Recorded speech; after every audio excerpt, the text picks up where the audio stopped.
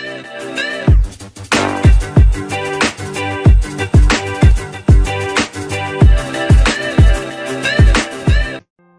everyone, welcome to Medis Global. For the mathematics, we have prepared total 6 parts. Here this is the first part in which we'll cover all the important formulas and the short notes for the linear algebra. So let's start one by one. Here the first topic is matrix. So in the matrix, first one is the definition.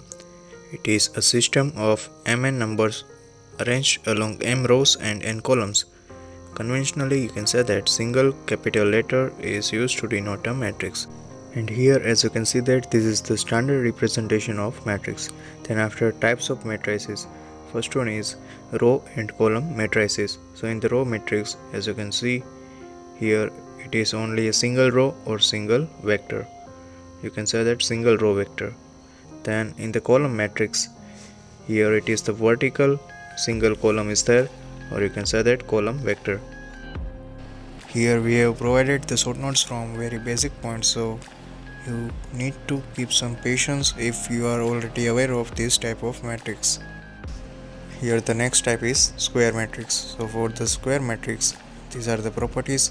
First one is the same number of rows and columns then order of square matrix is equals to number of rows or columns then after principal diagonal here it is the diagonal of a square matrix which is known as the principal diagonal. Then the trace of the matrix is the sum of the diagonal elements of a square matrix. So here it is the representation of the trace and these properties are important for the examination. Trace of lambda is equals to lambda into trace of a.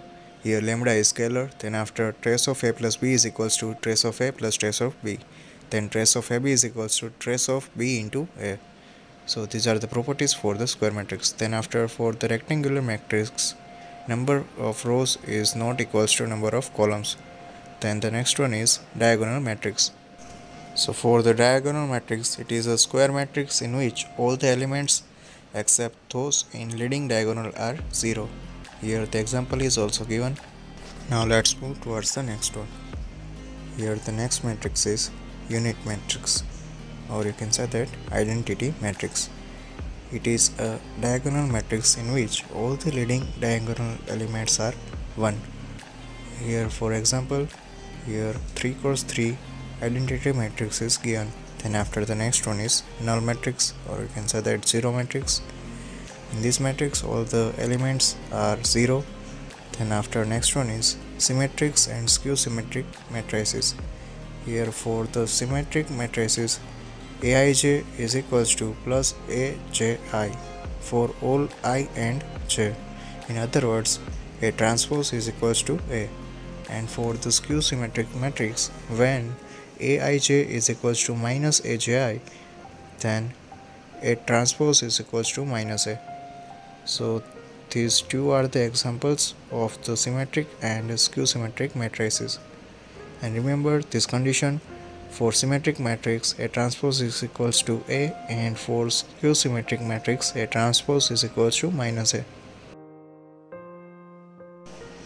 Then after the next one is triangular matrix. A matrix is said to be upper triangular if all the elements below its principal diagonal are 0 and a matrix is said to be lower triangular if all the elements above its principal diagonals are zeros. Here two examples are also given for the upper triangular matrix and the lower triangular matrix. Then after the next one is orthogonal matrix. Here if A into A transpose is equals to identity matrix then the matrix A is said to be the orthogonal matrix. Similarly for the singular matrix if mod A is equals to 0 then A is called a singular matrix. Then after next one is unitary matrix.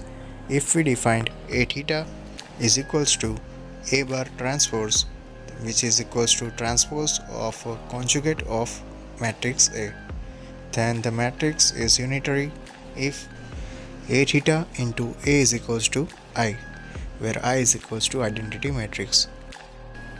Once again from these types of matrix there are so many times questions were asked so all these matrices are important for the examination. Here the next one is Hermitian matrix it is a square matrix with complex entries which is equals to its own conjugate transpose. Here a theta is equals to a or you can say that aij is equals to aij bar. Here note that in Hermitian matrix diagonal elements are always real this question was asked more than two times in the examination. Then after next one is skew Hermitian matrix. It is a square matrix with complex entries which is equals to the negative of conjugate transpose. Here a theta is equals to minus a or you can say that aij is equals to minus aji bar. Here note that in the skew Hermitian matrix diagonal elements are either 0 or pure imaginary this question was also asked in the examination. So for the Hermitian and skew Hermitian, these two conditions you have to remember as well as these two notes are also important for the examination. Then after the next one is idempotent matrix. If A square is equals to A, then the matrix A is called the idempotent matrix. So these are the important types of the matrix now the next topic is multiplication of a matrix by a scalar. Every element of the matrix get multiplied by that scalar.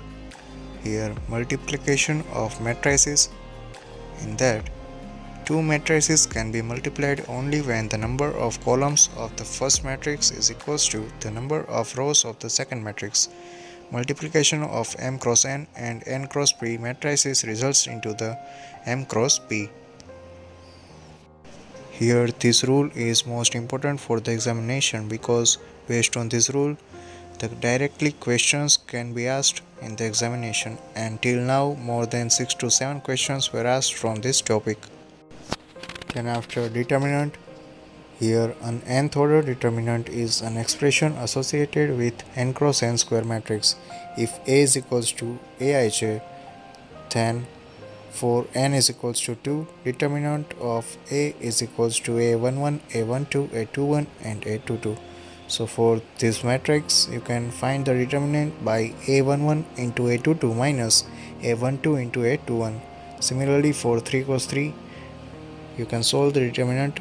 These determinant solving are very easier in the examination because from 11th and 12th standard we are solving the determinant for the matrix then the next one is minors and cofactors. Here the minor of an element in a determinant is the determinant obtained by the deleting the row and the column which intersect that element. Then cofactor is the minor with proper sign and the sign is given by minus 1 raised to i plus j where the element belongs to ith row and jth column. Then here this is the most important topic which are the properties of determinants.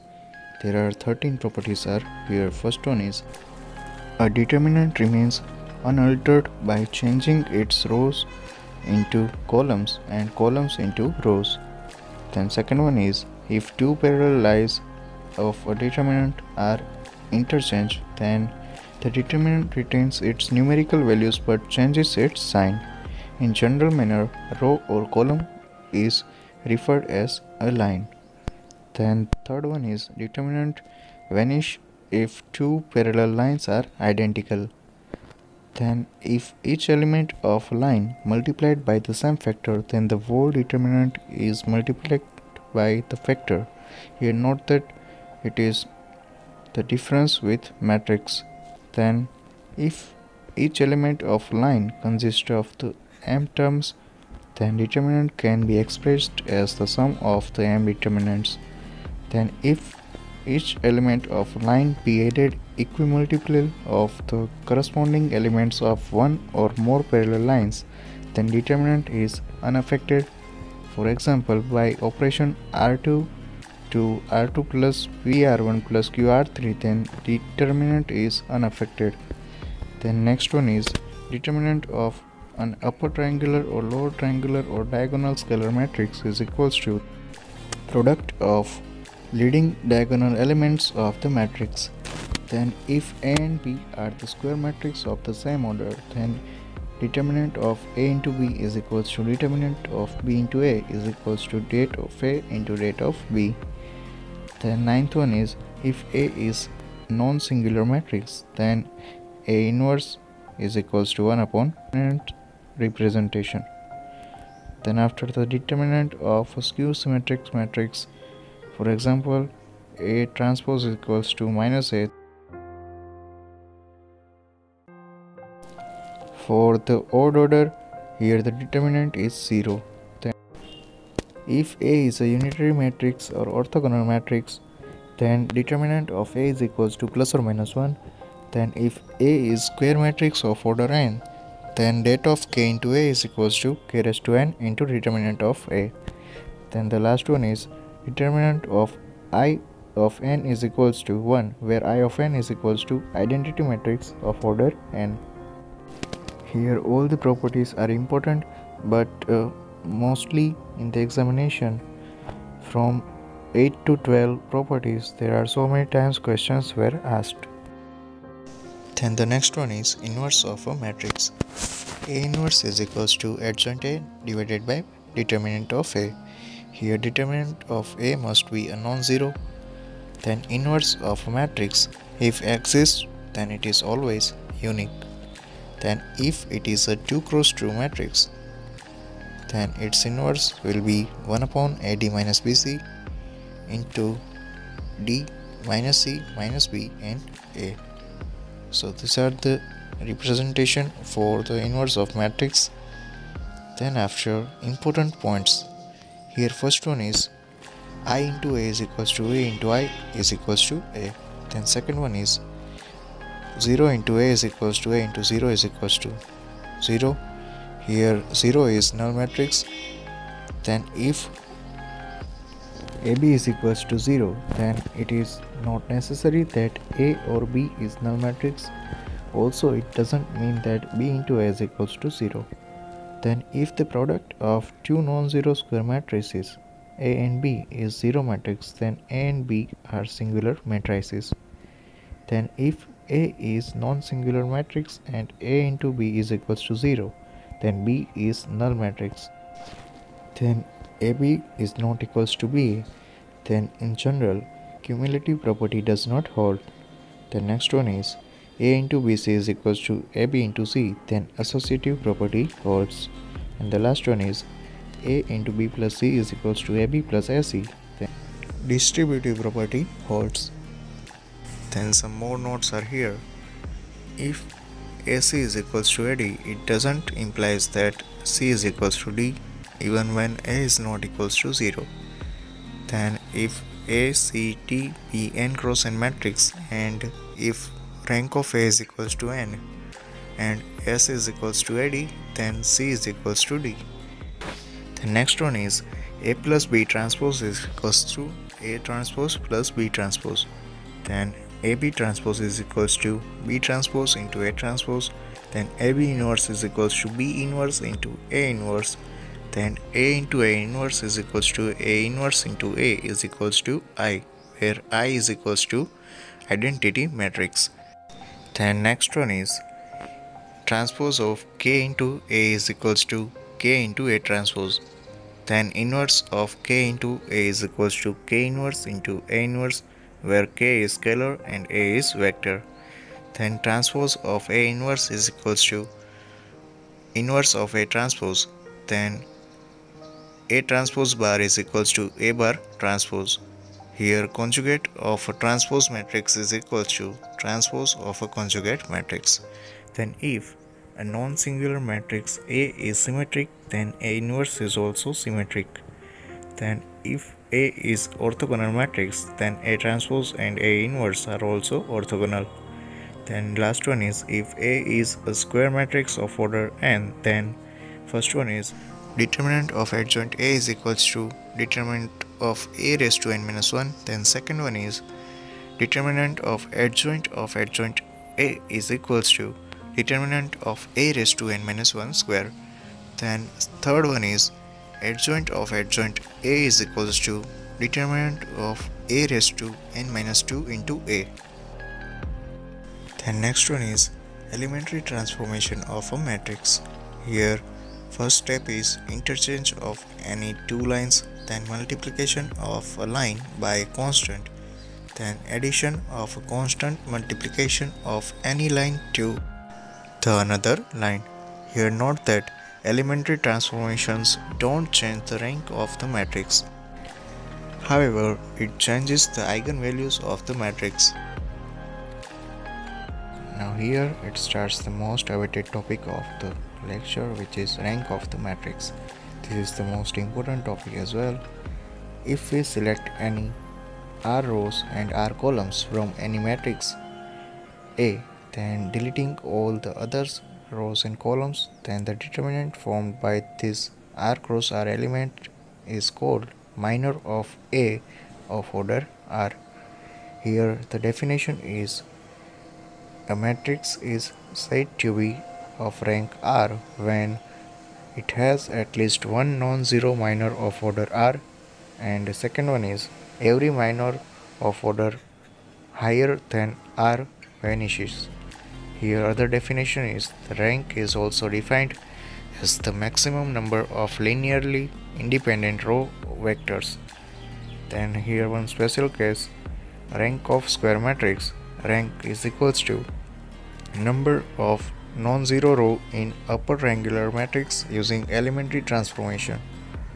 Here some notes are there. First one is rank of A into B is less than or equal to minimum of rank of A or rank of B. Then after, the rank of a diagonal matrix is simply the number of non-zero elements in principal diagonal, then a system of homogeneous equations such that the number of unknown variable exceeds the number of equations necessarily has non-zero solutions. So in general, for finding the rank of a matrix, here it is the number of non-zero rows in its row echelon form or in the other words you can say that it is the maximum number of linearly independent row vectors. Then the next one is if A is non-singular matrix then all the row or column vectors are independent. Then after if A is singular matrix then vectors of A are linearly dependent. Then after rank of A is equal to 0 if if and only if A is a null matrix. Then after if two matrices A and B have the same size and the same rank then A, B are the equivalent matrices. And the tenth one is every non-singular matrix is a row matrix and it is equivalent to identity matrix. Now the second last topic of this lecture is solution of linear system of equations. As you all know from this topic, every year there may be one or two questions definitely will be asked in the examination. So this first one is here it is the representation of the a into x is equals to b. Here a is equals to coefficient matrix and r is equals to rank of a and r dash is equals to rank of c. Then c is equals to a and b here c is equals to augmented matrix and n is equals to number of unknown variables. Here consistency of a system of equations. Here first one is for non-homogeneous equations. So ax is equals to b. There are three cases for the non-homogeneous equations. First one is if r is not equals to r dash then the equations are inconsistent or you can say that there is no solution. Then second one is if r is equals to r dash is equals to n then the equations are consistent and there is a unique solution. Then third one is if r is equals to r dash and less than n then the equations are consistent and there are infinite number of solutions. Here r dash is equals to the rank of augmented matrix then after next one is for the homogeneous equations or you can say that ax is equals to 0 here there are two cases. First one is if r is equals to n then the equations have only a trivial zero solution. Then second one is if r less than n then n minus r linearly independent solution. So here infinite non-trivial solutions. Here note that in the case of homogeneous equation, there is no case of no solution. There is always one solution exists. These five conditions every aspirant should remember by heart because this is very important for the examination. Then here note that consistent means one or more solution or you can say that unique or infinite solution and inconsistent means no solution. The next one is Cramer's rule. Let the following two equations be there.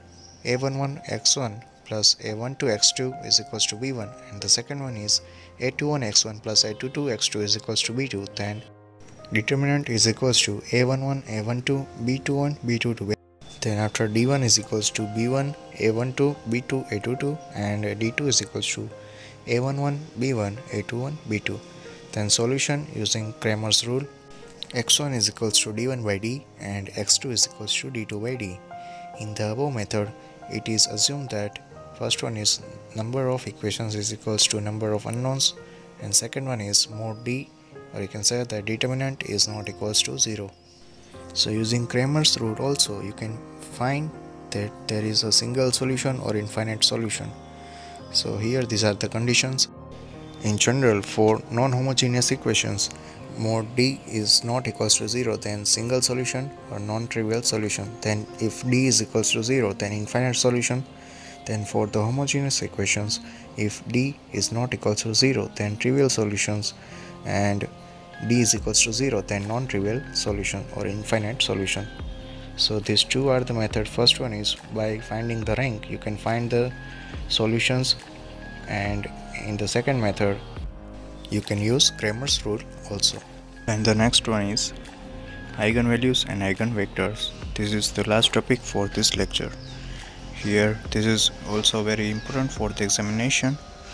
From this topic also there are so many times questions were asked. So first one is characteristic equation for the eigenvalues.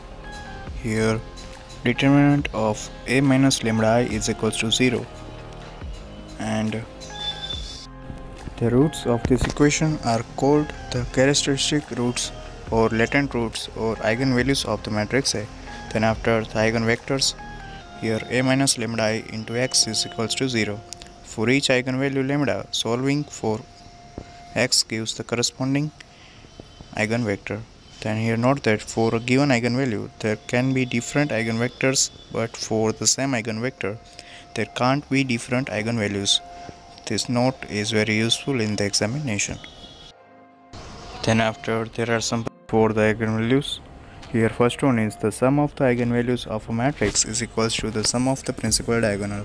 Then second one is the product of the eigenvalues of a matrix is equals to determinant then the largest eigenvalue of a matrix is always greater than or equal to any of the diagonal elements of the matrix then fourth one is if lambda is an eigenvalue of the orthogonal matrix then 1 by lambda is also its eigenvalue. Then if a is real then its eigenvalue is real or complex conjugate pair.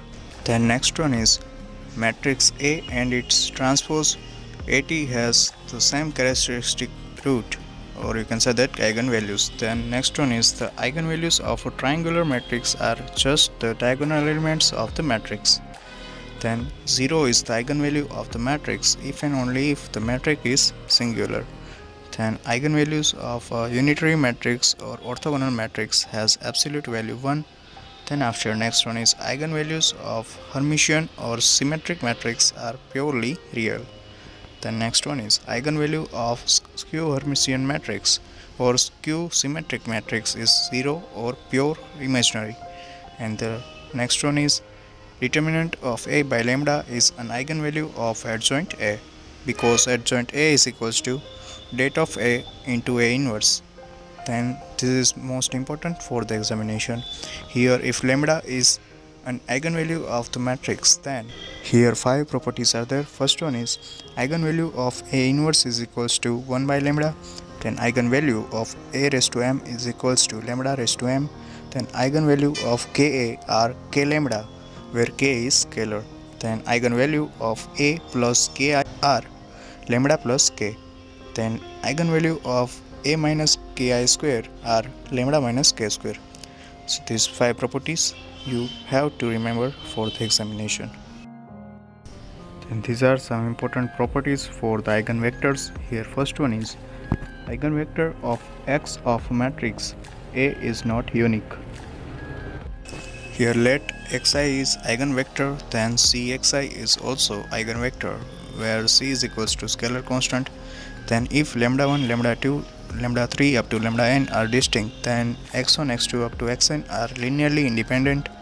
Then third one is if two or more eigenvalues are equal it may or may not be possible to get linearly independent eigenvectors corresponding to the equal roots then fourth one is two eigenvectors are called orthogonal vectors if x1 transpose into x2 is equals to 0 then here note that for a single vector to be orthogonal, A transpose is equals to A inverse or A into A transpose is equals to A into A inverse is equals to 1. Then eigenvectors of a symmetric matrix corresponding to the different eigenvalues are orthogonal. Then here Cayley-Hamilton theorem states that every square matrix satisfies its own characteristic equation. So you can replace A by lambda. Then here the next topic is vector it is any quantity having n components is called a vector of order n, then linear dependence of vectors. If one vector can be written as linear combination of others, then the vector is linearly dependent, then linearly independent vectors. If no vectors can be written as a linear combination of others, then they are linearly independent. And suppose the vectors are x1 x2 x3 x4 then its linear combination is lambda 1 x1 plus lambda 2 x2 plus lambda 3 x3 plus lambda 4 x4 is equals to 0 then if lambda 1 lambda 2 lambda 3 lambda 4 are not all 0 then they are linearly dependent. And if all lambda are 0 then they are linearly independent. So this is all about the first part of the linear algebra in which we have covered the types of matrices, then after determinant and properties of determinant, then after the system of linear equations, then after rank of matrix, then after eigenvalues and eigenvectors.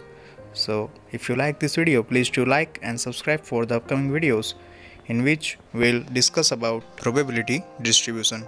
So keep sharing this video to all your study groups Thank you so much for watching the video. Good luck.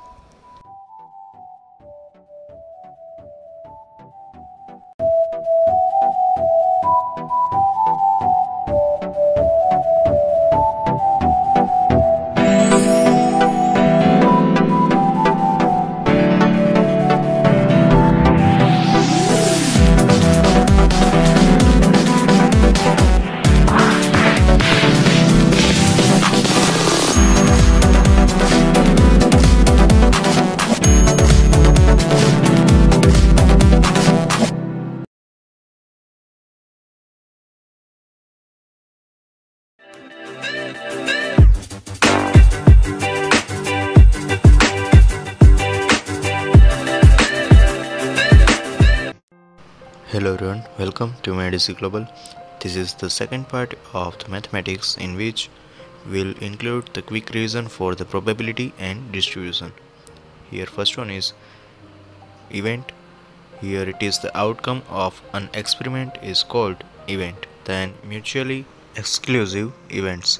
Here it is also known as disjoint events. Here two events are called mutually exclusive if the occurrence of one excludes the occurrence of the others. For examples, both can't occur simultaneously. Here, here a and b is equals to 5 then p of a and b is equals to 0 then after equally likely events if one of the events cannot happen in preference to other then such events are said to be equally likely events then odds in favor of an event is equals to m by n where m is equals to number of ways favorable to A and n is equals to number of ways not favorable to A. Then after odds against the event is equals to n by m. Then after probability P of A is equals to m by n which is equals to number of favorable ways divided by total number of ways. So you can say that p of a plus p of a dash is equals to 1. Then after important points are here p of a or b is equals to probability of happening of at least one event of a and b. Then after p of a and b is equals to probability of happening of both events a and b. Then after if the events are certain to happen then probability is unity. Then if the events are impossible to happen then the probability is 0. Then addition law of probability. Here first one is for every events a and b and c not mutually exclusive then p of a or b or c is equals to p of a plus p of b plus p of c minus p of a and b minus p of b and c minus p of c and a plus p of a and b and c. Then for the event a, B and C which are mutually exclusive then P of A or B or C is equals to P of A plus P of B plus P of C. Then next one is independent events.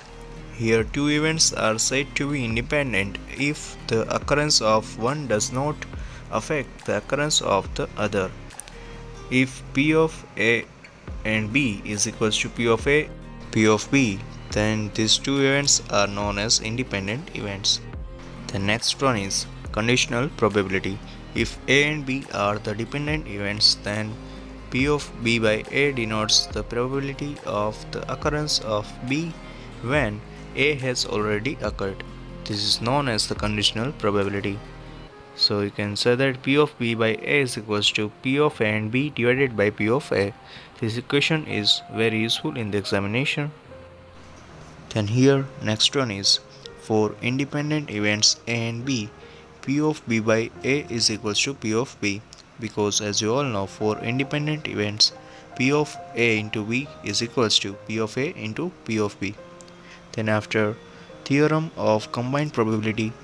If the probability of an event a happening as a result of a trial is p of a then probability of an event b happening as a result of trial after a has happened is P of B by A then the probability of both the events A and B happening is P of A into B is equals to P of A into P of B by A where P of A is not equals to 0.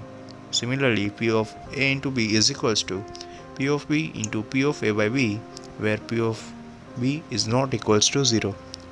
So basically these two results you have to remember for the examination. This is also known as the multiplication theorem.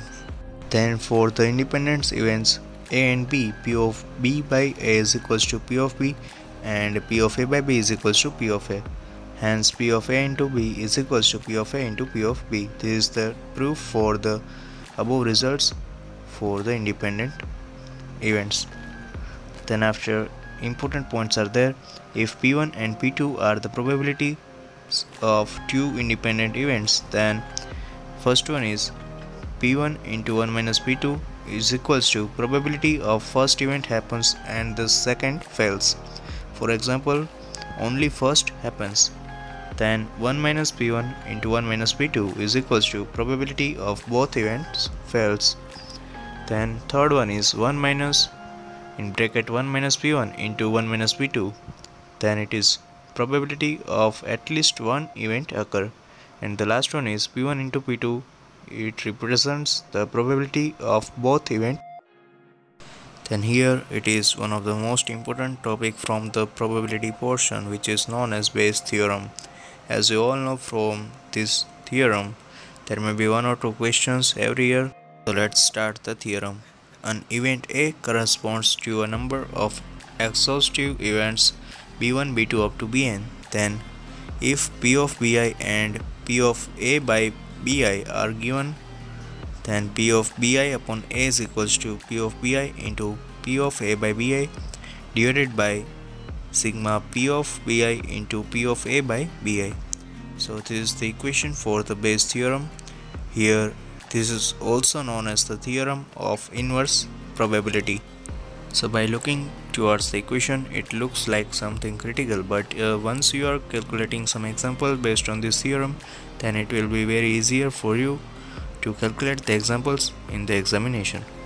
Now the next one is the random variable.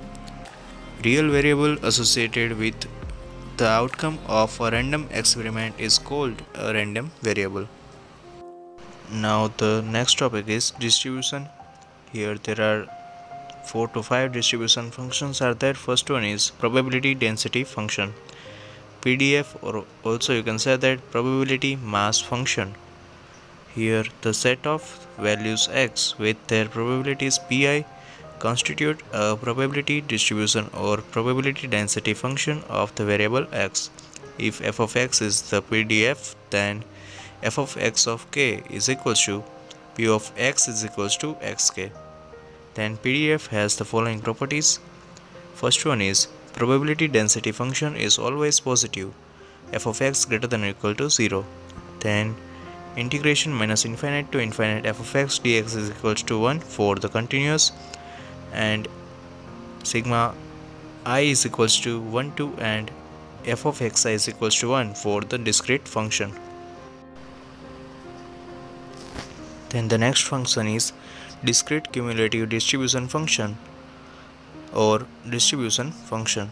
So here it is also known as CDF here if f of x of x is equals to p of x less than or equal to x which is equals to integration minus infinite to x f of x dx then f of x is defined as the cumulative distribution function or simply the distribution function of the continuous variable.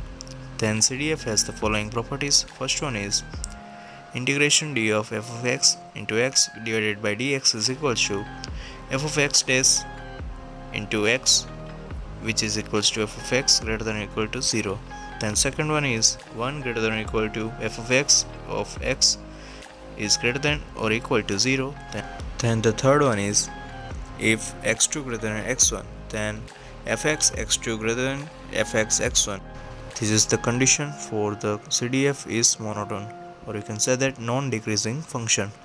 Then the next one is f of x of minus infinite is equals to 0 and fx of infinite is equals to 1 then p of a less than or equal to x less than or equal to b is equals to integration a to b f of x dx is equals to integration minus infinite to b fx dx minus integration minus infinite to a f of x dx is equals to fxb minus fxa so these are the some important notes you have to remember. Then the next topic is expectation e of x. Here e of x is equals to sigma i is equals to 1 to n xi into f of xi this is for discrete case. Then second one is e of x is equals to integration minus infinite to infinite xi into f of xi dx. This is for the continuous case. Then there are some properties of the expectation. E of constant is equals to constant. Then e of c into x is equals to c into e of x where c is equals to constant.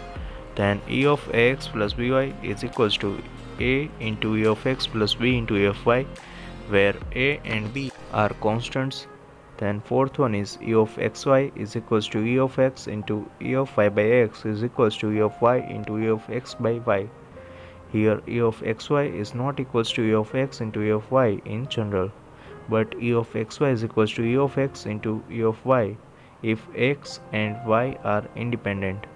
So these four properties are most important for the examination because every year there may be one question from these properties of expectation and the variance. Here the next point is variance. It is denoted by var of x so in general, the equation of var of x is most useful in the examination. It is denoted by var of x is equals to e of x x square minus e of x whole square. Then here there are some important properties for the variance. First one is variance of constant is equals to 0. Then second one is variance of c of x is equals to c square into var of x minus variance is non-linear. Here c is equals to constant. Then third one is variance of cx plus or minus d is equals to c square into variance of x minus variance is translational invariant. Here c and d are constants then fourth one is var of x minus k is equals to var of x where k is equals to constant. And number 5 var of x plus by is equals to s square into var of x plus b square into var of y plus or minus 2a into covariance of xy if not dependent here and b are constants. Then where of ax plus by is also equals to s square into var of x plus b square into var of y. Here these are independent. Means you can say that a and b both are independent. And the next term is covariance. Here covariance of xy is equals to e of xy minus e of x into e of y. Here if independent then covariance is equal to 0 and e of xy is equals to e of x into e of y so you can say that x and y both are independent. Then if covariance is equals to 0 then the events are not necessarily independent. So this term you have to remember. Then after properties of covariance first one is covariance of xy is equals to covariance of yx if both are symmetric. Then second one is covariance of xx is equals to variance of x. Third one is mode of covariance of xy is less than or equal to sigma x into sigma y then here next topic is standard distribution function it is discrete random variable case here then first one is binomial distribution P of r is equals to NCR into Q raised to r into Q raised to n minus r.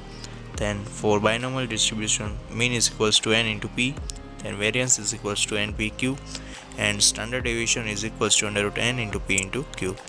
These three are the most favorite MCQs for the examination from the binomial distribution. So every aspirant should remember these three equations for binomial distribution then second one is Poisson's distribution here for this case also you have to remember this equation probability of k success is p of k is equals to e raised to minus lambda into lambda raised to k divided by k factorial here k is equals to number of success trials n is equals to number of trials p is equals to success case probability lambda is equals to mean of distribution then for Poisson distribution mean is equals to lambda variance is equals to lambda and lambda is equals to n into p so you can say that mean is equals to variance is equals to n into p so these are the important terms for the binomial and the Poisson distribution. Now let's move towards the next one. Then here the next topic is standard distribution function for continuous random variable case. First one is normal distribution or you can say that Gaussian distribution. Here f of x is equals to 1 upon under root 2 pi sigma square into e raised to minus x minus mu square by 2 sigma square where mu and sigma are the mean and standard deviation respectively. Then p of mu minus sigma less than x less than mu plus sigma is equals to 68% then after p of mu minus 2 sigma less than x less than mu plus 2 sigma is equals to 95.5% and p of mu minus 3 sigma less than x less than mu plus 3 sigma is equals to 99.7%. Then for the normal distribution total area under the curve is unity. So you can say that integration minus infinite to infinite f of x dx is equals to 1 then second one is the exponential distribution. Here for this function f of x is equals to lambda into e raised to minus lambda x where x is greater than or equal to 0 here lambda is also greater than 0 then if f of x is equals to 0 then x less than 0 then second one is uniform distribution function. f of x is equals to 1 upon b minus a for b greater than or equal to f of x greater than or equal to a. And f of x is equal to 0 for all other cases than the first condition. Then fourth one is Cauchy distribution function here. The equation is f of x is equals to 1 upon pi into 1 plus x square. And the last number 5 Rayleigh distribution function f of x is equals to x by mu square into e raised to minus x square by 2 mu square. Here these five equations are important. Then here the second last topic of this video is mean median and mode. So here mean it is the arithmetic mean x bar is equals to sigma xi upon n then after median when the values in a data sample are arranged in descending order or ascending order of the magnitude the median is the middle term if the number of the sample is odd and is the mean of two middle terms if the number is even. Then the third one is mode. It is defined as the value in the sample data that occurs most frequently. So for the mean, median and mode you have to practice some different type of questions. Then here some important points are there. Mean is best measurement due to all observations taken into consideration. Then second one is mode is worst measurement due to only maximum frequency is taken. Then third one is in median 50% of observation is taken. Then sum of the deviation about mean is 0. Then sum of the absolute deviation about median is minimum. Then sum of the square of the deviation about mean is minimum. Then coefficient of variance is equal to sigma by x bar into 100 and correlation coefficient is equals to rho of xy is equals to covariance of xy divided by sigma x into sigma y. Then here minus 1 less than or equal to rho of xy less than or equal to 1. Then rho of xy is equals to rho of yx. Then mod of rho of xy is equals to 1 when p of x is equals to 0 is equals to 1 or p of x is equals to ay is equals to 1 for same value of a. Then after if the correlation coefficient is negative then two events are negatively correlated then if the correlation coefficient is 0 then two events are uncorrelated and third one is if the correlation coefficient is positive then the two events are positively correlated then here this is the last topic of this video line of regression the equation of the line of regression of y on x-axis y minus y bar is equals to rho into sigma x by sigma y bar into x minus x bar. Then after the equation of line of regression of x on y is you have to just put the value of x in place of the y. So you can say that you have to substitute the x in place of y. Then after rho into sigma y by sigma x bar is called the regression coefficient of y on x and is denoted by byx then rho into sigma x by sigma y bar is called the regression coefficient of x on y and is denoted by bxy then joint probability distribution. If x and y are two random variables then the joint distribution is defined as fxy of xy is equals to p of x less than or equal to x and y less than or equal to small y. Then here these are some properties which are important for the joint distribution function or you can say that cumulative distribution function. First one is fxy of minus infinite to minus infinite is equals to 0 then second one is fxy of infinite to infinite is equals to 1 then third one is fxy of minus infinite to infinite is equals to 0 then fourth one is fxy of x to infinite is equals to p of x less than or equal to small x and y less than or equal to infinite which is equals to fx of x into 1 which is equals to fx of x. Then last one is fxy of infinite to y is equals to fy of y. Then joint probability density function here it is defined as fxy is equals to del square f of xy by del x into del y this property is very useful. Double integration minus infinite to infinite f of xy dx dy is equals to 1. Then here note that x and y are said to be independent random variable if fxy of xy is equals to fx of x into fy of y. So this is all about the second part of the probability and distribution. So if you like this video, please do like and subscribe to our channel for the upcoming videos. In next video, we will discuss about the important formulas of the numerical ability, which will be the part 3 for the mathematics in which we have prepared total 6 parts. So yes, you can press the bell icon for the upcoming parts of numerical ability. Thank you so much. Hope for the best. Good luck.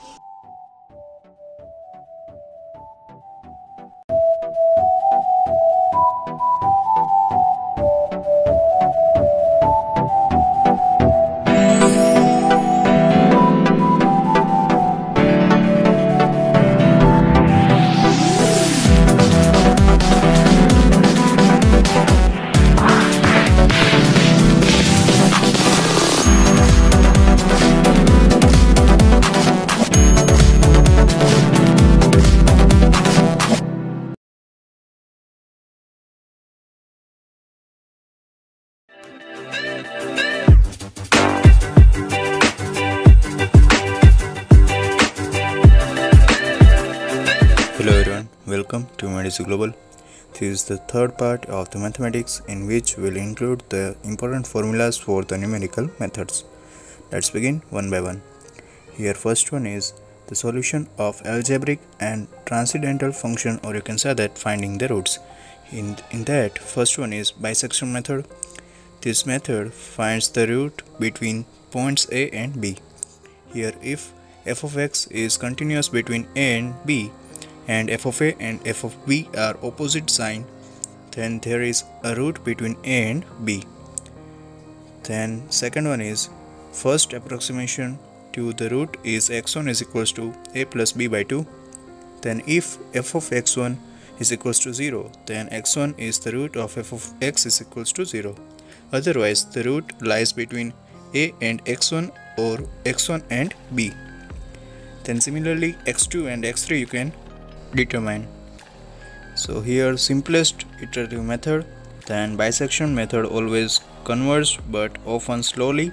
Then this method can't be used for finding the complex roots and the rate of the convergence is linear. So these are some key points for the bisection method. Now let's move towards the next method which is Newton-Raphson method. Or you can say that successive substitution method or tangent method.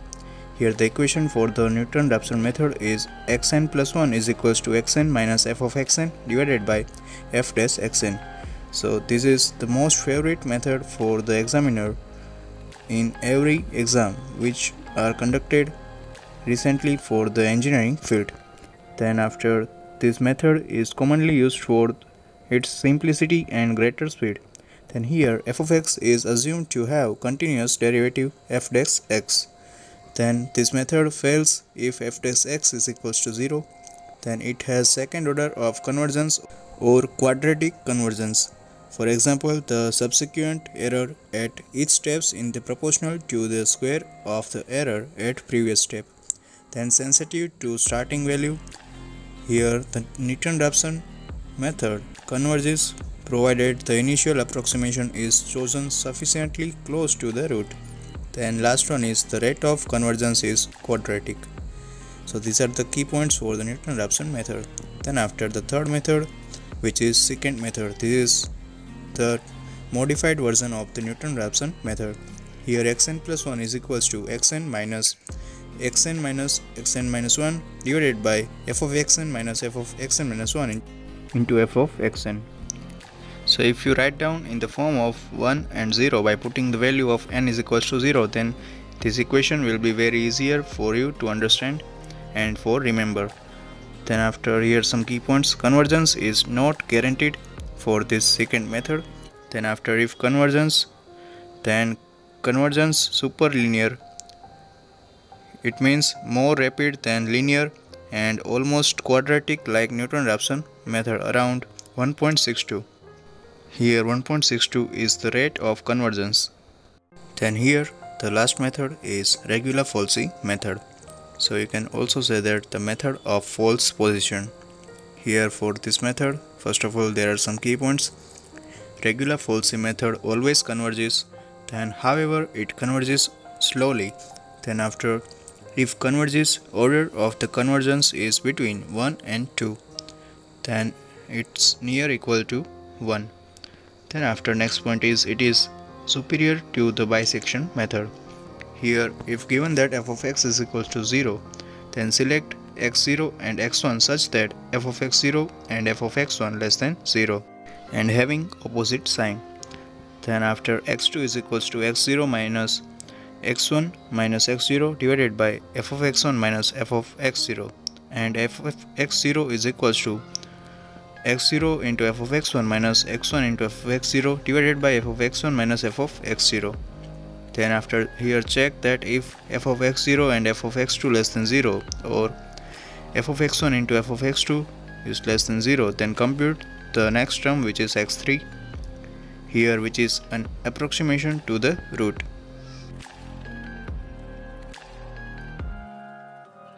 Then after next topic is solution of system of linear equations. Here the first method is Gauss elimination method. Here equations are converted into the upper triangular matrix from the solved by back substitution method. Here consider that a1x plus b1x plus c1z is equals to d1. Similarly d2 and d3. Then step 1 to eliminate x from the second and third equation and here we do this by subtracting suitable multiple of first equation from the second and third equation so the next step is eliminate y from the third equation and the third step is the value of x y z can be found by back substitution method here note that the number of operations n is equals to n cube by 3 plus n square minus n by 3. Then after the next method is Gauss-Jordan method. Here some key points are there. It is used to find the inverse of the matrix and solving linear equations. Then here back substitution is avoided by additional computations that reduce the matrix to diagonal form. Then instead to triangular form in the Gauss elimination method. Here the number of operations is more than Gauss elimination as the effort of back substitution is saved at the cost of additional computation. Here step 1 eliminate x from the second and third then step 2 eliminate y from the first and third and step 3 eliminate z from first and second.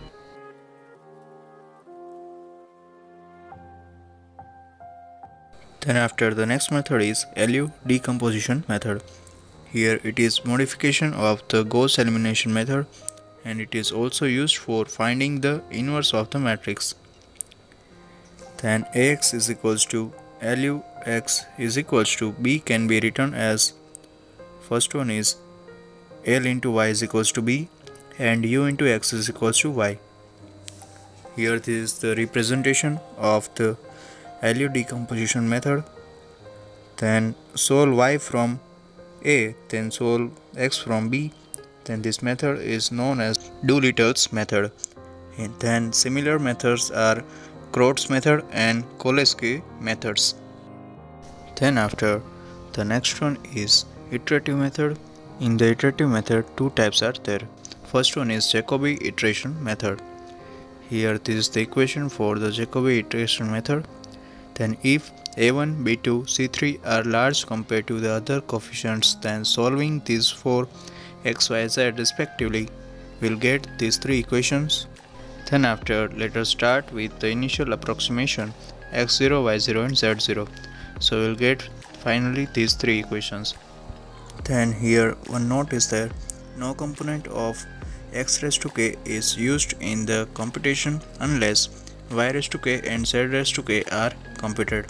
Then the process is repeated till the difference between two consecutive approximation is negligible. In generalized form, these three are the equation for the respective terms x, y and z. Then after the next method is Gauss-Seidel iteration method. Here it is the modification of the Jacobi's iteration method it starts with x0, y0, z0 is equals to 0, 0, 0 or anything. Here no specific condition. Then in first equation put y is equals to y0 z equals to z0 which will give x1. Then in second equation put x is equals to x1 and z is equals to z0 which will give y1. Similarly in the third equation put x is equals to x1 and y is equals to y1 which will give z1. Here note that to compute any variable use the latest available value in generalized form. These three are the equation in the form of x, y and z. Then here the next topic is the numerical integration. This is the most important topic for the examination. Here three methods are there. First one is trapezoidal rule. Here step size h is equals to b minus a upon n. Then integration x0 to x0 plus nh f of x dx is equals to h by 2 into in bracket first term plus last term plus 2 into all the other terms. This is the most important equation for the examination. Based on this equation, more than 4 to 5 times questions were asked in the exam. So you must have to remember this equation. Then here error is equals to exact minus approximate value. Then the error in approximating an integral using trapezoidal rule is bounded by minus h square by 12 into b minus a into maximum of f double dash of zeta where zeta belongs to mod AB. Then the second one is Simpson's one-third rule or you can say that Simpson's rule. Here the equation is integration x0 to x0 plus nh f of x dx is equals to h by 3 in bracket first term plus last term plus 4 into all odd terms plus 2 into all even terms. So here h by 3 is there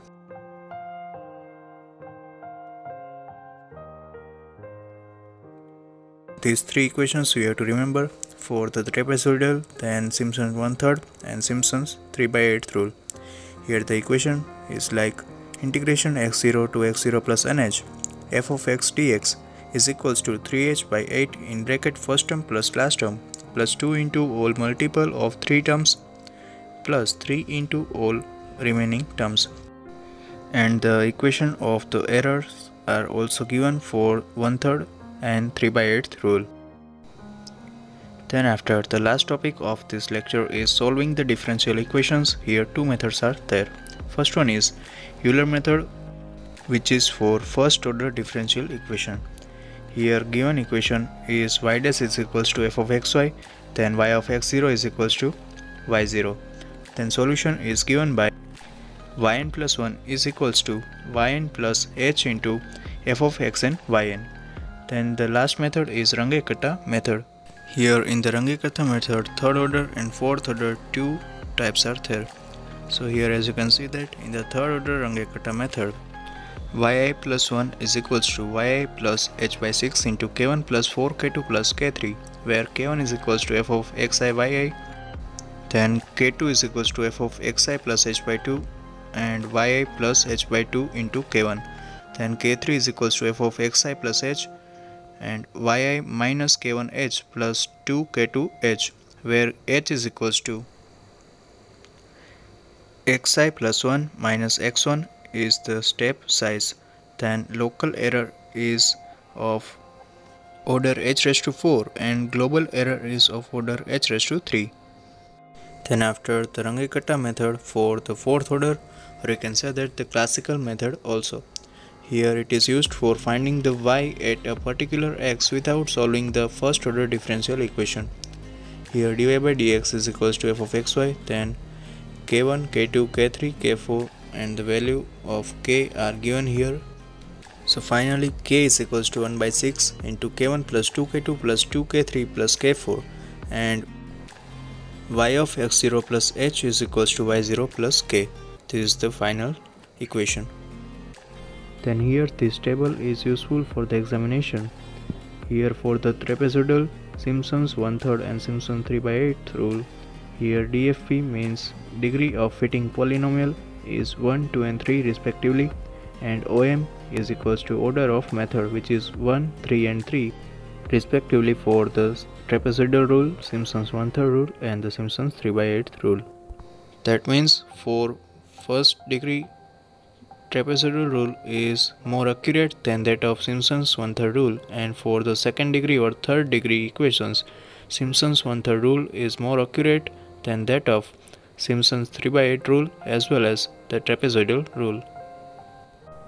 Here as you can see that degree of fitting polynomial is equals to 1 that means the trapezoidal rule will give you the correct answer for the first degree equations without any error. Similarly for the Euler's method, Runge-Kutta of order 2 and Runge-Kutta method for order 4 here the order of error and order of method are given. So for the Euler's method, order of error is 2 and order of method is 1. Similarly for the second order Runge-Kutta 3 and 2 and fourth order Runge-Kutta method, order of error is equals to 5 and order of method is equals to 4. So you have to remember this value because sometimes this value can be asked directly in the examination. Here as you can see that there is one example also there for the fourth order Runge-Kutta method or you can say that classical Runge-Kutta method. Then these are some advantages and disadvantages for the Simpson's one-third rule versus Simpson's 3 by 8 rule. Here first one is advantages. It can use an odd or even number of subintervals rather than just an even number of subintervals as used in the Simpson's one-third rule. So here 3 by 8 rules advantages are given. Then it can converge to estimated integral values much quicker than Simpson's one-third rule. Then it has the same order of accuracy as Simpson's one-third rule when calculating the absolute error but Simpson's 3 by 8 rule is actually slightly more accurate but the fraction used in this error will be smaller and then will provide a more accurate error. Then these two are the equations for the one-third rule and 3 by 8 rule. Then disadvantages are this rule requires multiple of 3 segments only and when calculating the value by hand this rule is more complicated. So this is all about the third part of the numerical ability in which we have covered total 4 types of questions. In the starting we have seen the solution of algebraic and transcendental equations or root finding then after solution of linear system of equations then after numerical integration and at the end solving differential equations. So if you like this video please do like and subscribe to our channel for the upcoming videos. In the next part we will discuss about the quick revision for the calculus which is part 4 from total 6 part of the mathematics. So please share this video to the maximum study groups and press the bell icon for the upcoming video. Thank you so much. Hope for the best. Good luck.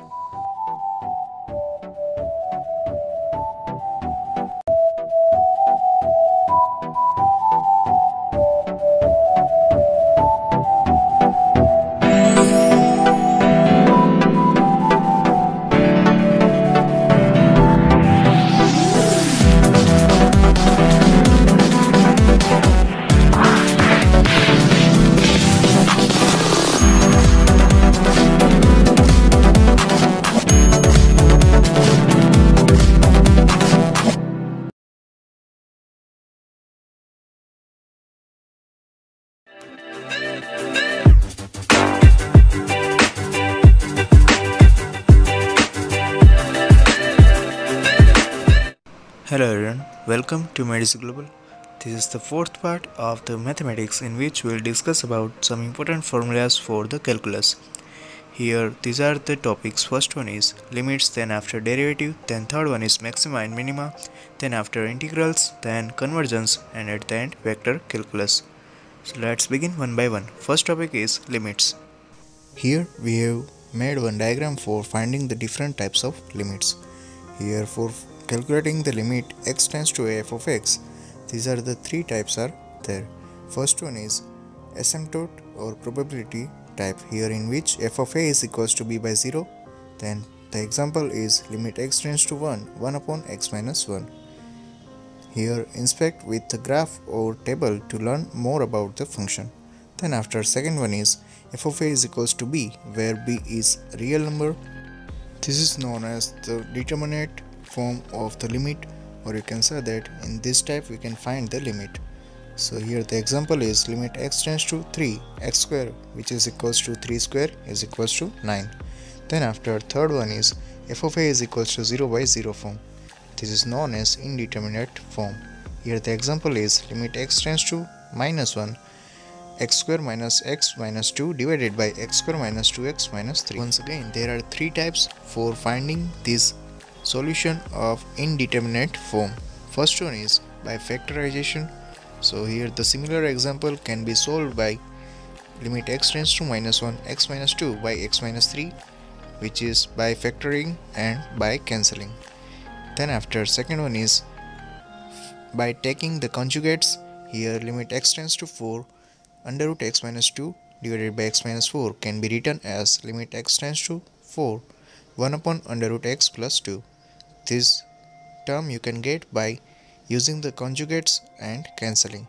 Then after the last one is by trig identities or you can say that trigonometric identities. So here the example is limit x tends to 0 sin x upon sin 2x can be written as the limit x tends to 0 1 upon 2 cos x. So here you have to just use the trigonometric properties or trigonometric identities. Then after if any of the example cannot be solved by these three methods then you have to use the approximation method. So these are the different types of limits. You can take a screenshot because this table is very useful for understanding the different types of examples based on the limits. So in this way we have prepared short notes for all the subjects of mechanical engineering. You can check out the links are given below in the description box. If you are new to your academy then please subscribe for the upcoming videos now here the next topic is some standard expansions. First one is 1 plus x raised to n is equals to 1 plus nx plus n into n minus 1 by 2 factorial into x square plus n into n minus 1 n minus 2 by 3 factorial into x cube up to x raised to n. These all expansions are very useful in the examination. You have to remember these 9 standard expansions. Now next one is x raised to n minus a raised to n divided by x minus a is equals to x raised to n minus 1 plus x raised to n minus 2 into a plus x raised to n minus 3 into x square up to a raised to n minus 1. Similarly, the next one is e raised to x. This is the most favorite expansions of the examiner. e raised to x is equals to 1 plus x plus x square by 2 factorial plus x cube by 3 factorial. Then the next one is log 1 plus x is equals to x minus x square by 2 plus x cube by 3 up to infinite. Then after next one is log 1 minus x. Here it is similar to the log 1 plus x you have to just replace all the signs are negative. So in the log 1 plus x plus minus plus minus signs are simultaneously and in the log 1 minus x all the signs are negative so this both the expansions are very easier to remember then after. The next one is sin x. Here sin x is equals to x minus x cube by 3 factorial plus x raised to 5 by 5 factorial minus x raised to 7 by 7 factorial. Here all the odd terms are there and signs are plus minus plus minus simultaneously. Similarly for the cos x you have to start from 1 1 minus x square by 2 factorial plus x raised to 4 by 4 factorial minus x raised to 6 by 6 factorial. Here all the terms are even and signs are plus minus plus minus respectively.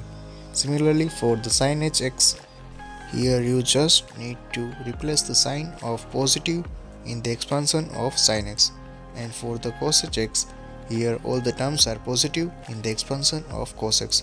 So in general you just need to remember this 6 expansions. Based on these 6 expansions, you can remember the other 3 expansions easily.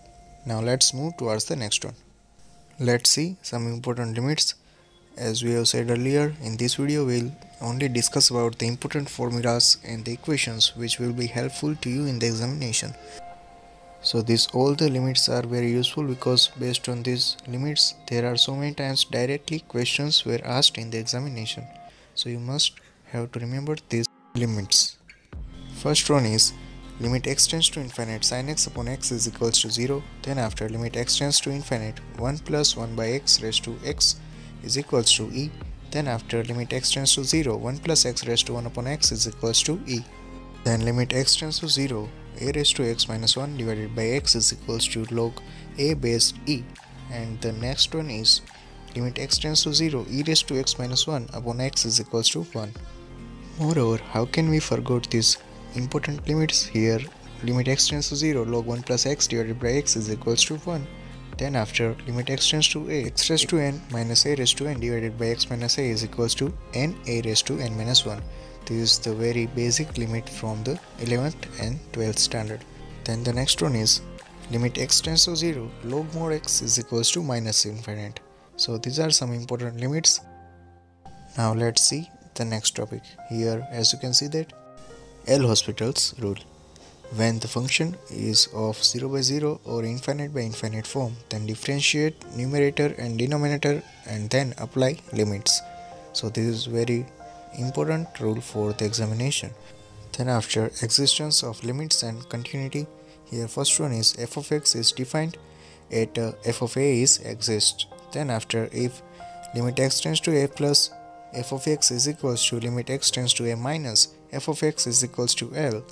Then the limit x tends to a f of x exists and equal to L. Then the third one is if limit x tends to a plus f of x is equals to limit x tends to a minus f of x is equals to f of a then the function f of x is said to be continuous. So these are the conditions for functions to be continuous.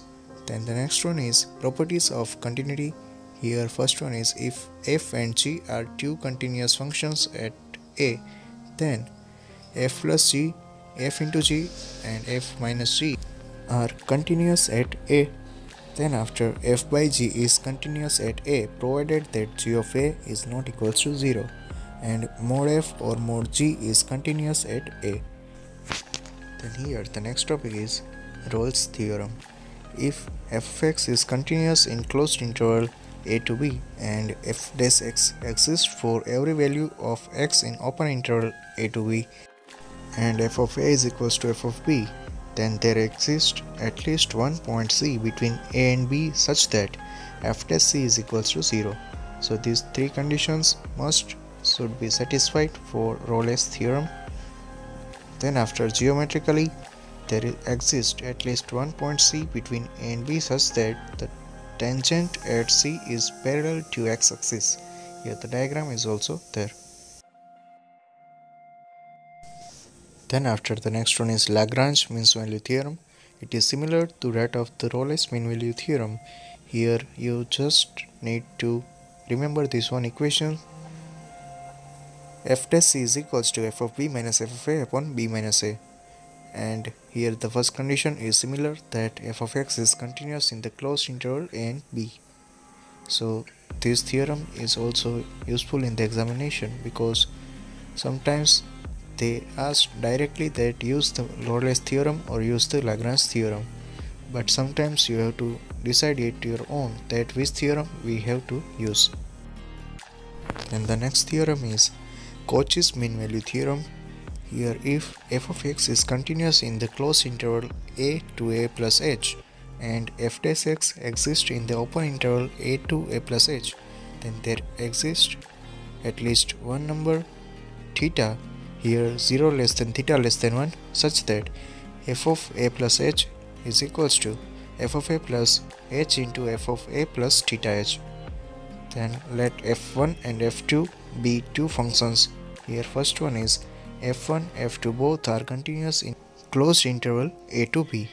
Then f1 and f2 both are differentiable in open interval a to b and f dash 2 is not equals to 0 in open interval a to b. Then for a less than beta less than b, you can write this equation f1b minus f1a divided by f2b minus f2a is equals to f1 dash of beta divided by f2 dash of beta. So this is the equation for Cauchy's mean value theorem. So basically it is similar to the equation of the slopes.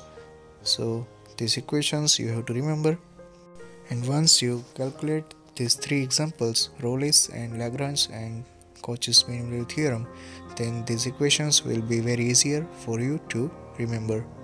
Now let's move towards the next one. Here it is the second part, derivative. Let's start one by one. So here as you can see that first of all here it is the equation for the derivative.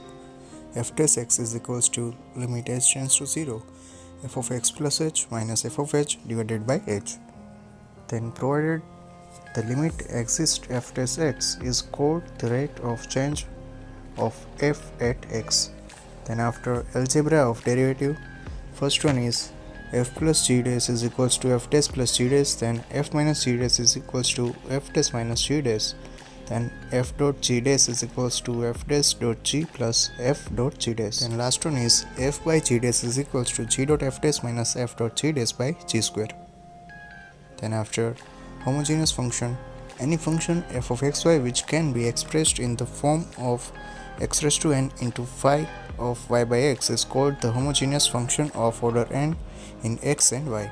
Here every term is of nth degree. Then f of xy is equals to a0 x raised to n plus a1 x raised to n minus 1 into y plus a2 x raised to n minus 2 into y square up to a n y raised to n. Then f of xy is equals to x raised to n into phi of y by x. Then after Euler's theorem on homogeneous equation if u be a homogeneous function of order n in x and y then these two are the main equations for the Euler's theorem on homogeneous function. Now let's move toward the next topic. So here as you can see that the next topic is total derivative. Here if u is equals to f of xy x is equals to phi of t and y is equals to psi of t then du by dt is equals to del u by del x into dx by dt plus del u by del y into dy by dt then after monotonicity of a function f of x First one is f of x is increasing function if for alpha greater than beta f of alpha greater than f of beta here necessary and sufficient condition f dash x should greater than 0 then second one is f of x is decreasing function for alpha greater than beta f of alpha less than f of beta where sufficient condition is f dash x less than 0 here note that if f is a monotonic function on a domain d then f is 1 1 on d. So these conditions are useful in the examination. You have to remember these conditions. Then after maxima and minima this topic is frequently asked in the examination so we have to prepare well this topic. Now there are two types global and local. First one if maximum or minimum value of f of x is to be found. Let y is equals to f of x then find dy by dx and equate it to 0 and from this find the values of x say x is alpha or beta then which is called the critical points. Then find d square y by dx square at x is equals to alpha. If d square y by dx square greater than 0 then y has some minimum value. And if d square y by dx square less than 0 then y has a maximum value so these are the sufficient condition then after if d square y by dx square is equals to 0 then proceed further and find at x is equals to alpha. Then if d cube y by dx square is not equals to 0 then y has neither minima nor maxima at x is equals to alpha. Then after if d cube y by dx square is equal to 0 then we have to find d raised to 4y upon dx raised to 4 at x is equals to alpha. Then if d raised to 4y upon dx raised to 4 is greater than 0 then y has minimum value. And if less than 0 then y has maximum value. Similarly if d raised to 4y upon dx raised to 4 is equals to 0 then proceed further. So here in this way the cycle will be repeated. So in general for maxima and minima you have to remember these conditions. And after solving one or two examples automatically you will remember this condition very easily. Now let's move towards the next one. Here note that greatest or least value exists either at critical point or at the end point of interval then point of inflection. If at a point the following conditions are met then such points is called point of inflection. Here in the diagram as you can see that where the diagram is changing its sign here first condition is dy by dx is equal to 0 then d square y by dx square is equal to 0 and d cube y by dx cube is not equals to 0 here for third condition neither minima nor maxima exist. Then after the next one is Taylor series. Here f of a plus h is equals to f of a plus h into f dash a plus h square by 2 factorial into f dash a plus up to infinite. Based on this series you can get the Maclaurin series also. Here you have to put the value of a is equals to 0 so f of x is equals to f of 0 plus x into f dash 0 plus h square by 2 factorial plus f dash 0 plus h cube by 3 factorial into f triple dash 0 so in this way you can calculate the Maclaurin series from the Taylor series. Then after maxima and minima for the two variables here these three terms you have to remember r is equals to del square f by del x square then s is equals to del square f by del x del y and t is equals to del square f by del y square. Then if del f by del x is equals to 0 and del f by del y is equals to 0 then solve this equation. Let the solution be in the form of ab and cd these two points you will get from these two conditions. Then after if rt minus s square is greater than 0 and r less than 0 then the function has maximum at a and b. Then after if rt minus s square is greater than 0 and r is also greater than 0 then function has minimum value at a and b. Then if rt minus s square less than 0 at a and b then if f of ab is not an extreme value here f of ab is saddle point. And if rt minus s square is greater than 0 at a and b it is doubtful need further investigation. Then after here the next point is integrals. So first one is standard integrals then after definite integrals and then after improper integrals. Let's see one by one. Here the first one is standard integrals. So there are total 38 standard integrals formula given here you have to remember these formulas because these formulas you have already studied in the 11th and 12th in mathematics. So these all are easy but you have to go through it once. So you can take the screenshots of the slides. Then after 22 to 31 formulas are given here all these formula once again you can see the sec x cosec x. These all formulas you have studied in the 12th examination as well 1 upon s square plus s square then 1 upon s square minus s square and 1 upon x square minus x square dx these all formulas we have covered in 11th and 12th standard. Then after year 32 to 38, these formulas are also important sin square x dx, then cos square x dx, then after tan square x dx, cot square x dx, ln x dx, which is x ln x minus x, and e raised to x sin bx dx, then e raised to x cos bx dx. So these all 38 formulas are important and useful in the examination. Now let's move towards the next topic. Okay one more formula is here which is for integration. Integration e raised to x f of x plus f dash x dx is equals to e raised to x into f of x. Then after integration by parts here this uv rule is most common for the examination but sometimes these common questions can be asked in the examination so let's go through it once. Here ILATE where I represents inverse circular for example tan inverse x then after L for logarithmic and A for algebraic then after T for trigonometric and E for exponential. Here take that function as u which comes first in the ILATE form then simply use this above formula. Integration u v dx is equals to u integration v dx minus integration of du by dx into integration v dx dx then after next one is rules for definite integral. First one is integration a to b f of x dx is equals to integration a to c f of x dx plus integration c to b f of x dx where a less than c less than b then second one is integration a to b f of x dx is equals to integration a to b f of a plus b minus x into dx then integration 0 to a f of x dx is equals to integration 0 to a f of a minus x dx. Then for the third case, integration 0 to a f of x dx, there are two cases. First one is if f of a minus x is equals to f of x, then this will be the equation. And for second one, if f of a minus x is equals to minus f of x, then the answer will be 0. Similarly, for the fourth case, integration minus a to a f of x dx is equals to 2 into integration 0 to a f of x dx for even function and 0 for the odd function. Now the next point is improper integrals. Here three types are there.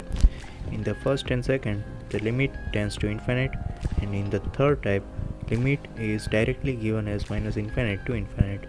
So these three types are improper integrals means you cannot directly integrate these integrations. So here two examples are also there. In the first example the answer will be 2 which is definite answer. So you can say that it is converges. Here in the second one we cannot find the definite answer. So here the answer will be divergence then after some important point for the convergence here first one is integration a to b f of x dx is said to be convergent if the value of the integral is finite so as we have discussed earlier in the example. Then after if 0 less than or equal to f of x less than or equal to g of x for all x and second one is integration a to infinite g of x dx converges then integration a to infinite f of x dx also converges. Then after f of x greater than or equal to g of x greater than or equal to 0 for all x then integration a to infinite g of x dx diverges then integration a to infinite f of x dx also diverges. So then here this important case is if limit extends to infinite f of x by g of x is equal to c where c is not equal to 0 then both integrals integration a to infinite f of x dx and integration a to infinite g of x dx converge or both integral diverge. Then after limit 1 to infinite dx by x raised to p is converges when p greater than 1 and diverges when p less than or equal to 1. This one note is very useful in the examination because most of the time directly one mark MCQ can be asked from this one note that you just need to identify the power of x raised to p. So here p greater than 1 then you can directly answer the question without solving the question then after next one is integration a to infinite e raised to minus px dx and integration minus infinite to b e raised to px dx is converges for any constant p greater than 0 and diverges for p less than or equal to 0 then after the integral integration a to b dx by b minus x raised to p is convergent if and only if p less than 1 then after these are some examples which are frequently asked in the examples. So you can remember these examples directly because these are easier to remember but uh, it takes so much time for calculation in the exam. So these values you have to remember. Then here the last topic of this lecture is vector calculus. So as you can see that first point is scalar point function.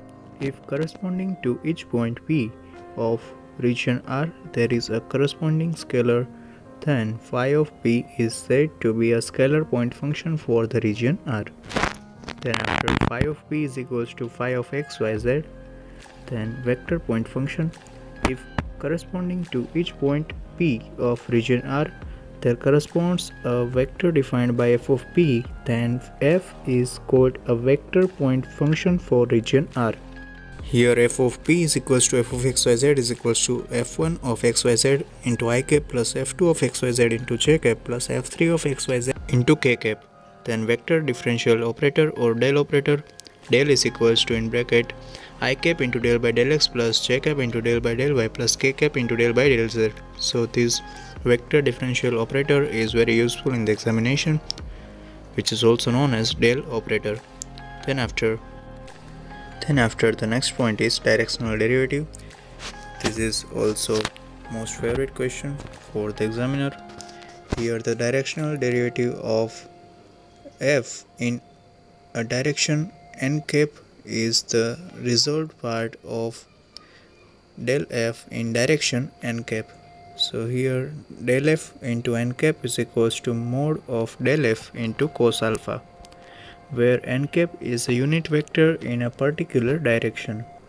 Then after direction cosine is equals to L square plus M square plus N square is equals to 1 where L is equals to cos alpha, M is equals to cos beta and N is equals to cos gamma.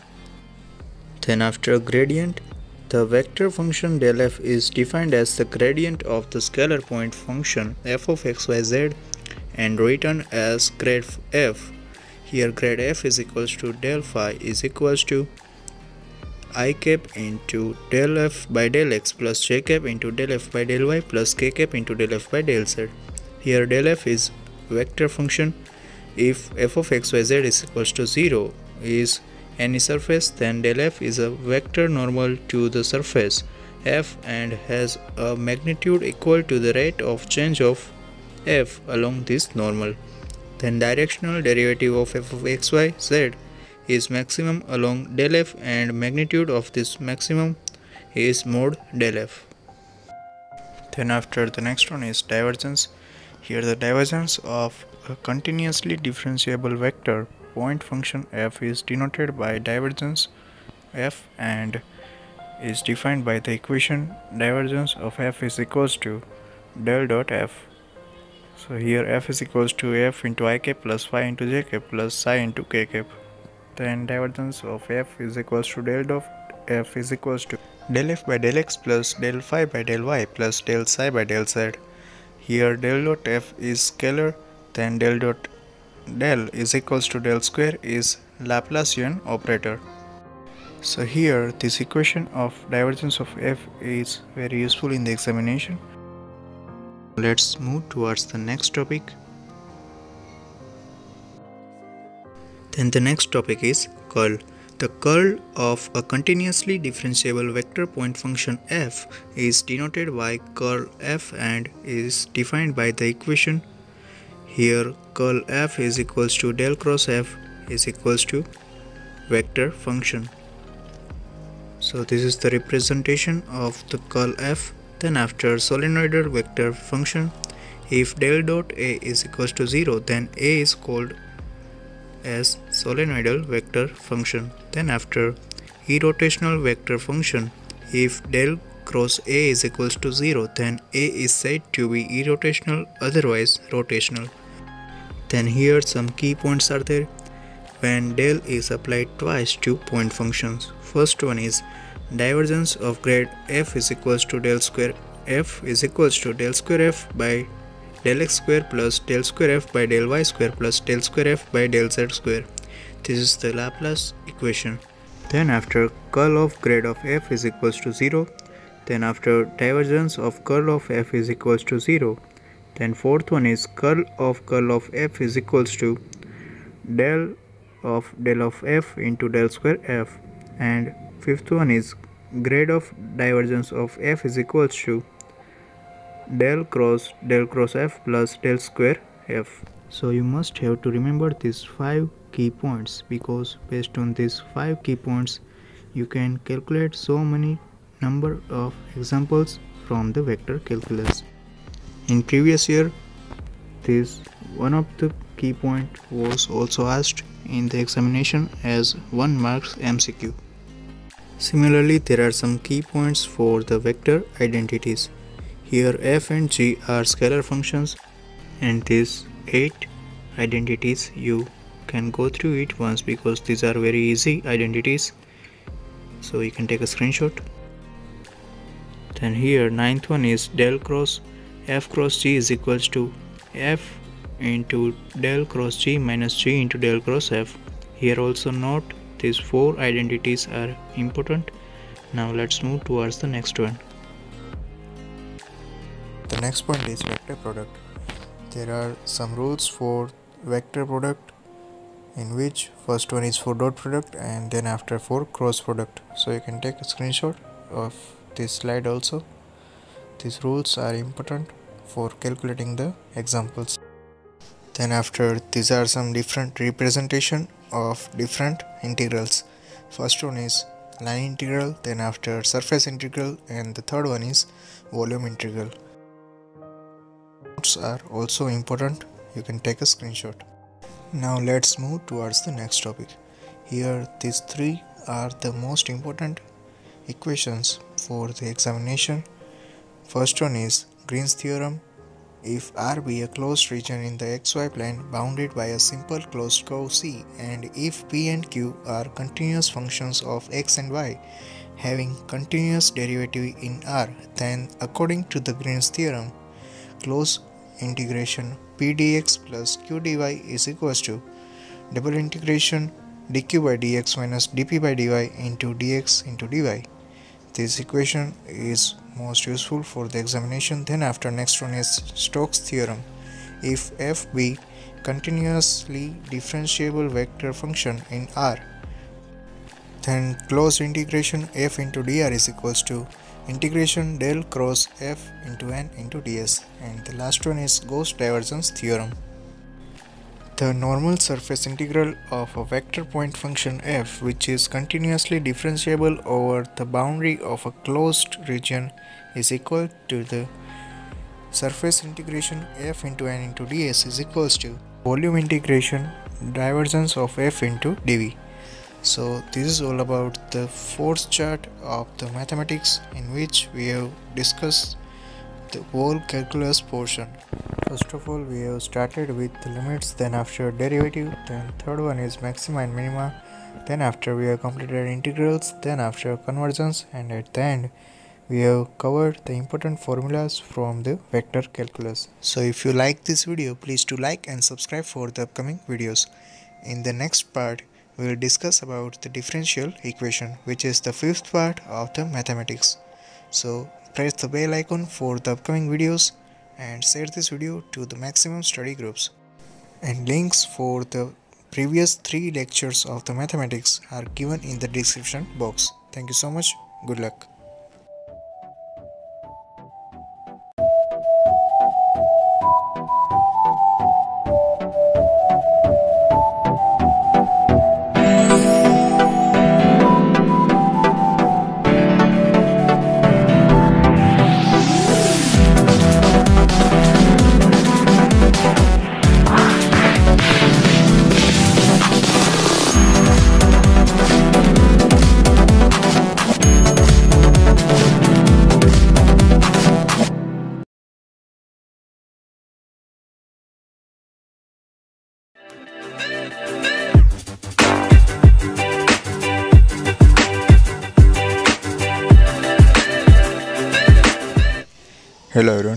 Welcome to MedEasy Global.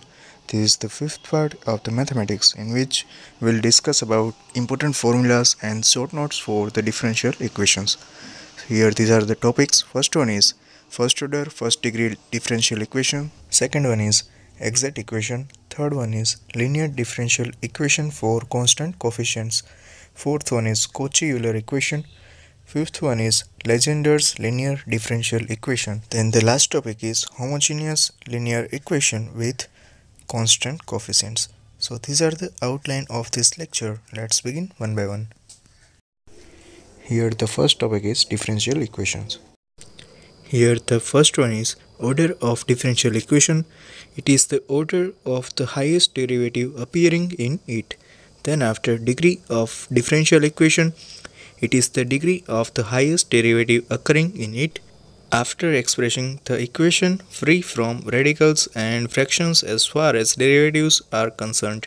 Then third one is differential equation of first order first degree.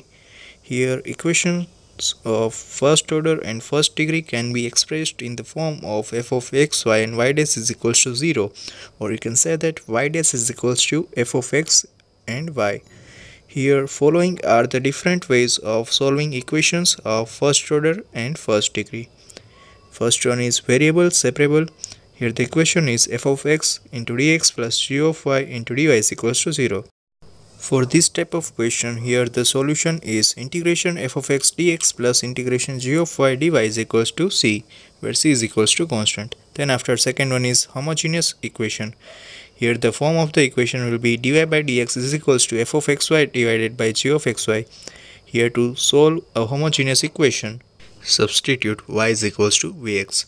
Then dy by dx is equals to v plus x into dv by dx. Here separate the variable v and x and then after integrate. Then the next point is equations reducible to homogeneous equation. Here the differential equation is in the form of dy by dx is equals to ax plus by plus c divided by a dash x plus b dash y plus c dash. Here this is a non-homogeneous but can be converted into homogeneous equation. Case 1 if a by a dash is not equals to b by b dash then substitute x is equals to capital X plus h and y is equals to capital Y plus k. Here h and k are constants. Then after solve for h and k, ah plus bk plus c is equals to 0. Then a dash h plus b dash k plus c dash equals to 0. So finally you will get this equation dy by dx is equals to ax plus by divided by a dash x plus b dash y. Then after in the case 2 if a by a dash is equals to b by b dash then you have to use this term a by a dash is equals to b by b dash is equals to 1 by m. So after substituting this term 1 by m you will get dy by dx is equals to ax plus by plus c divided by m into x plus by plus c dash. Then substitute ax plus by is equals to t so that dt by dx is equals to b into t plus c divided by m into t plus c dash plus a. Then solve by variable separable method. So these are the two cases for non-homogeneous equation. Then after the next point is linear equations. Here the standard form of a linear equation of the first order can be written as dy by dx plus p of x into y is equals to q of x where p and q are functions of x.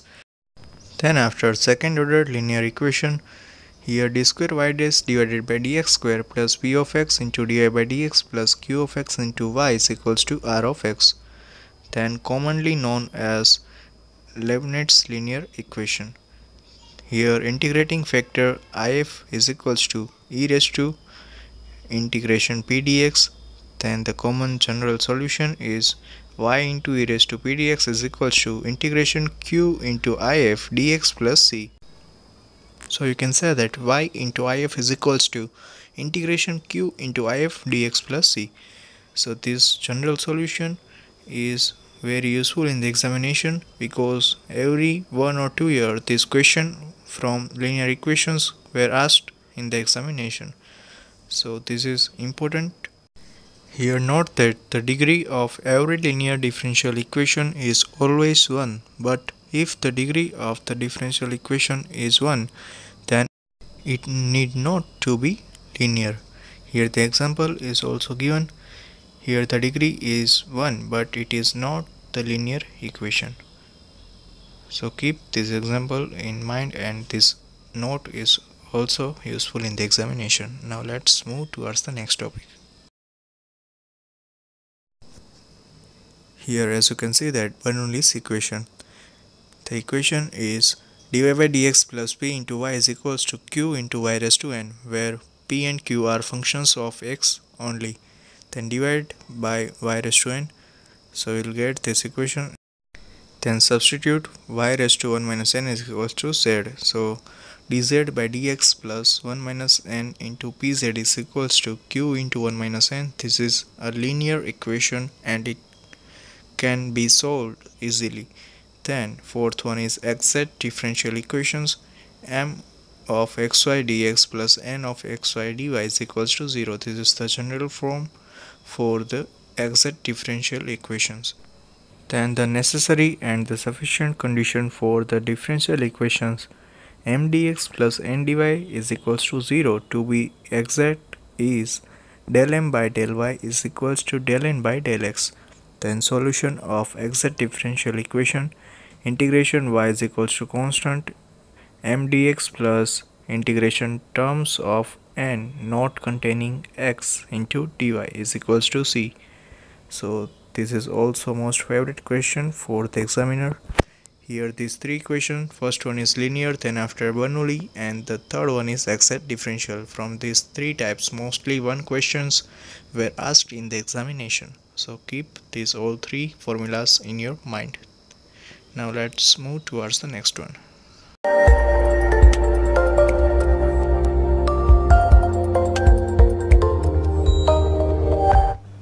then after here the next topic is equation reducible to the exact equation First one is integrating factor.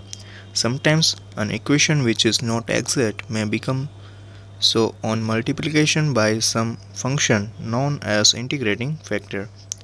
Here some rules are there. First one is x dy plus y dx is equals to d of xy. Then after x dy minus y dx by x square is equals to d of y by x. Then similarly there are four more equations. You can note down this also. Number 3 x dy minus y dx divided by xy is equals to d log y by x. Then after x dy minus y dx by y square is equals to minus d of y by x. Then after fifth one is x dy minus y dx divided by x square plus y square is equals to d of tan inverse y by x. Then last one is x dy minus y dx divided by x square minus y square is equals to d into 1 by 2 log x plus y divided by x minus y. So here d for the differentiation as you all know. So these are some basic equations or forms you can remember. Now let's move towards the next one Then after there are some more rules. Rule number one when mdx plus ndy is equals to 0 is homogeneous in x and y and mx plus ny is not equals to 0 then if is equals to 1 upon mx plus ny. So these are the different conditions for which you have to use this equation of integrating factor. Here rule number 2 if the equation f1 of xy into y dx plus f2 of xy into x dx is equals to 0 and mx minus ny is not equals to 0 then if is equals to 1 upon mx minus ny.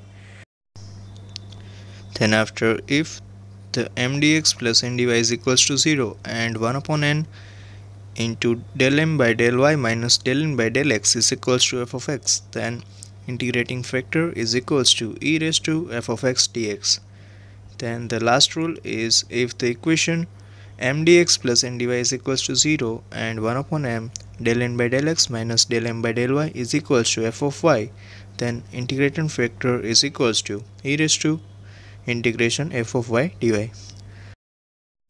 So these are main four types of questions.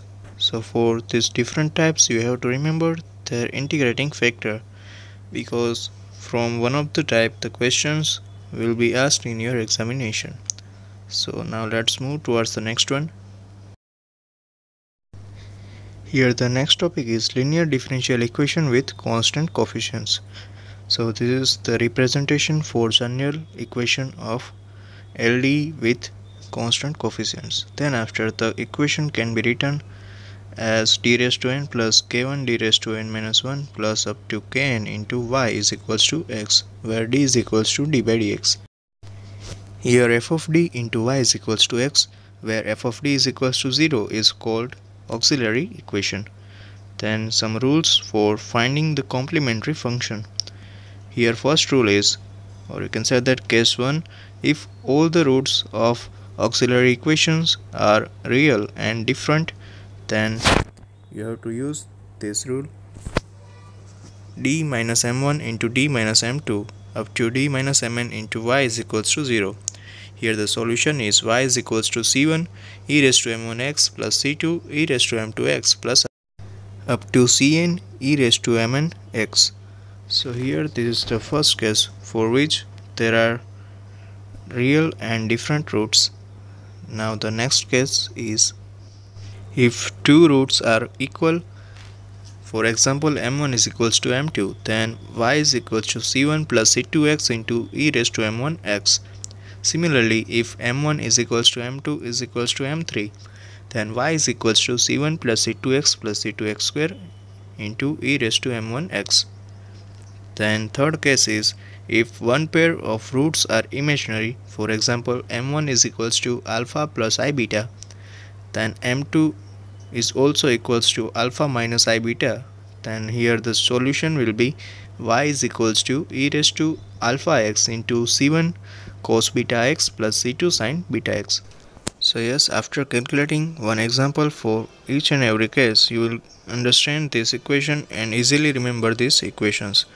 Then after next case is if two pairs of root are imaginary then for example repeated imaginary roots alpha plus or minus i beta and alpha plus or minus i beta then y is equals to e raised to alpha x into c1x plus c2 cos beta x plus c3x plus c4 into sin beta x.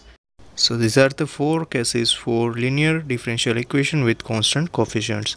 Now let's move towards the next one. Here rules for finding the particular integral pi is equals to 1 upon d raised to n plus k1 d raised to n minus 1 plus up to kn into x is equals to 1 upon f of d into x. Here case 1 when x is equals to e raised to ax then pi is equals to 1 upon f of d into e raised to ax. Here put d is equals to a where f of a is not equals to 0. Similarly in the second one pi is equals to x into 1 upon f dash d into e raised to ax put d is equals to a then f dash a is not equals to 0 but f of a is equals to 0 then pi is equals to x square 1 upon f double dash d into e raised to x. Then put d is equals to a. Here f of a is equals to 0 f dash a is equals to 0 and f double dash a is not equals to 0 now the case 2 when x is equals to sine ax plus b or cos ax plus b then pi is equals to 1 upon phi d square sine ax plus b. Here put d square is equals to minus a square where phi of minus a square is not equals to 0 then similarly pi is equals to x into 1 upon dash d square into sine x plus b. Put d square is equals to minus a square where phi dash of minus a square is not equals to 0 and phi of minus a square is equals to 0 then similarly the third case so these are the two cases here some more cases are there let's see one by one here case number 3 when x is equals to x raised to m where m being positive integer then pi is equals to 1 upon f of d into x raised to m is equals to f of d inverse into x raised to m. So finally you will get this equation in the form of this one. Then after case 4 when x is equals to e raised to x into v where v is function of x. Here pi is equals to 1 upon f of d into e raised to x into v. So pi is equals to e raised to x into 1 upon f of d plus a into v. Then evaluate 1 upon f of dA into v as in case 1 2 and 3 then after here two more cases are there. Case number 5 here as you can see that when capital X is equals to x into v of x then pi is equals to 1 upon f of d into x into v of x is equals to x minus f dash d divided by f of d into 1 upon f of d into v of x. Then last case when x is any other function of x then pi is equals to 1 upon f of d into x. Then factorize f of d is equals to d minus m1 d minus m2 up to d minus mn and resolve 1 upon f of d into partial fractions. And up, then apply 1 upon d minus a into x is equals to e raised to ax integration x into e raised to minus ax dx on each terms. Then the complete solution for all these six cases will be cf plus pi then here this is most favorite question for the examiner. From this topic there may be one question in every one or two year. So here the topic name is Cauchy-Euler equation or you can say that homogeneous linear equation. Here this is the representation for this Cauchy-Euler equation. Then substitute x is equals to e raised to d. Then after x into dy by dx is equals to dy. Then x square into d square y by dx square is equals to d into d minus 1 into y. And x cube into d cube y by dx cube is equals to d into d minus 1 into d minus 2 into y. So after substituting these differentials, the Cauchy-Euler equation results into a linear equation with constant coefficients. Then it is very simple. As we discussed earlier in the six cases, you have to choose any preferable case and you have to calculate this example according to the previous cases. So that cases are also useful in this Cauchy-Euler equation. Now let's move towards the next one. Here the next topic is Legendre's linear equation. Here this is the representation for this Legendre's linear equation. Then ax plus b is equals to e raised to t and t is equals to ln ax plus b. So for this equation you have to substitute these values x plus b into dy by dx is equals to a into dy then x plus b square into d square y by dx square is equals to a square into d into d minus 1 into y. And third one is x plus b cube into d cube y by dx cube is equals to a cube into d into d minus 1 into d minus 2 into y. Then after substituting these differentials the Legendre's equation results into a linear equation with constant coefficients. So once again that six cases are also useful for solving the examples of this Legendre's linear equation. So in general you must have to remember that six cases for linear differential equation with constant coefficients which we have recently discussed. Now let's move towards the next one. Here this is most favorite MCQ for the examiner partial differential equations are used as mathematical models for phenomena in all branches of engineering and science. Here this is the general equation. So from this equation you have to remember this term b, a and c then apply this condition. If b square minus 4ac is less than 0 then it is steady heat transfer flow and diffusion. Here this equation you have to remember for the Laplace equations del square u by del x square plus del square u by del y square is equals to 0. Similarly for the parabolic b square minus 4ac is equals to 0 and for the elliptical b square minus 4ac less than 0. So these conditions you have to remember because so many times questions were asked from these tables in the form of MCQ for 1 marks Then this is the last topic of this lecture, homogeneous linear equation with constant coefficients. So this is the representation of the homogeneous linear equation with constant coefficients.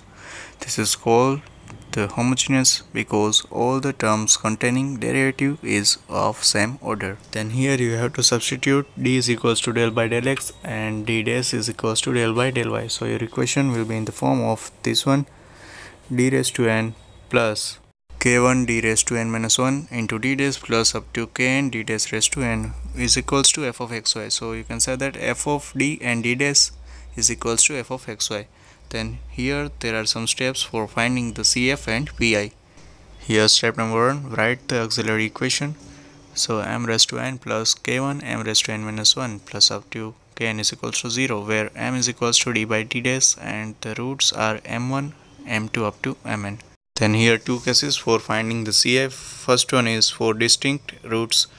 CF is equals to f1 of y plus m1x plus f2 of y plus m2x up to infinite. Then CF is equals to f1 of y plus m1x plus x into f2 of y plus m1x plus f3 of y plus m3x plus up to infinite. Here two roots are equals. Then after step 2 finding the pi, pi is equals to 1 upon f of d and d dash into f of xy.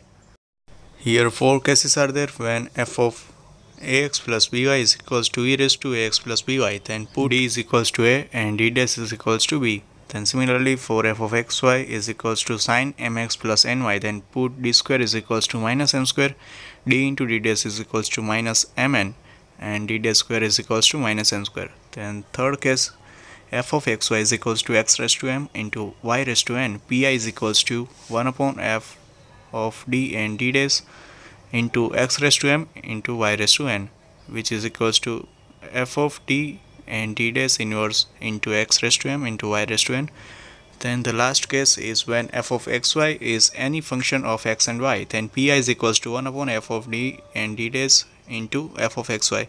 Then resolve 1 upon f of d and d into partial fraction considering f of d and d as the function of d alone and operate each partial fraction on f of xy remembering that 1 upon d minus md dash into f of xy is equals to integration f of x and c minus mx dx where c is replaced by y plus mx after integration. So basically these are some cases for which you have to remember this equations of CF and PI and the general solution will be CF plus PI. So this is all about the fifth part of the mathematics in which we have discussed about the important formulas and short notes for the differential equations.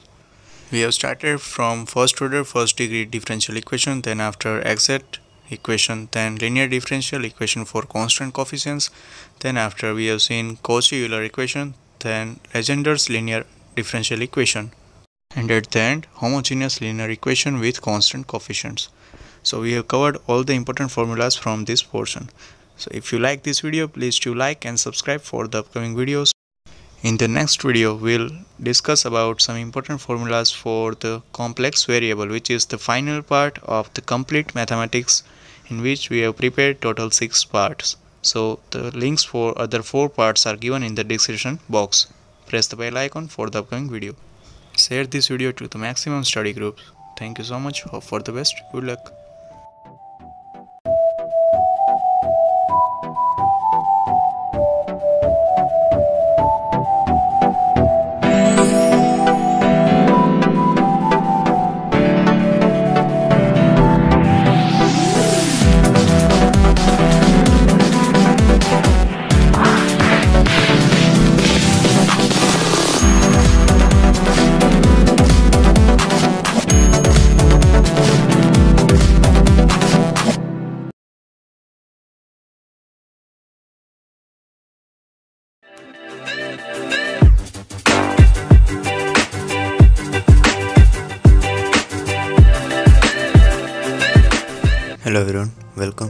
Medis Global. This is the final chart of the mathematics in which will include the important formulas for the complex variables and the Laplace transform. So as you can see here, these are the outlines. First one is basics, then after methods of constructing analytic function. Then third one is complex integration, then after Cauchy's integration theorem, then after Morera's theorem, then after Laurent's series and at the end we'll discuss about Laplace transform. So let's begin one by one. Here first one is complex variables. In that first topic is if z is equals to x plus iy is a complex number where x and y are real numbers called as real and imaginary part of z. So these are some basic portions we have included in the start. Modulus of absolute value is equals to mod z is equals to under root x square plus y square here argument of z is equals to theta which is equals to argument of z is equals to tan inverse y by x. Then after a function of a complex variable, it is a rule by means of which it is possible to find one or more complex numbers w for every value of z in certain domain D. Then w is equals to f of z where z is equals to x plus iy here w is equals to f of z is equals to u of xy plus i into v of xy. Then after next topic is continuity of f of z. Before that if you are new to academy then please subscribe for the upcoming videos and the links for the previous 5 parts you can find out in the description box. So here a function w is equals to f of z is said to be continuous at z is equals to z naught if limit z tends to z0 into f of z is equals to f of z0. Here further f of z is said to be continuous in any region R of the z plane if it is continuous at every point of that region.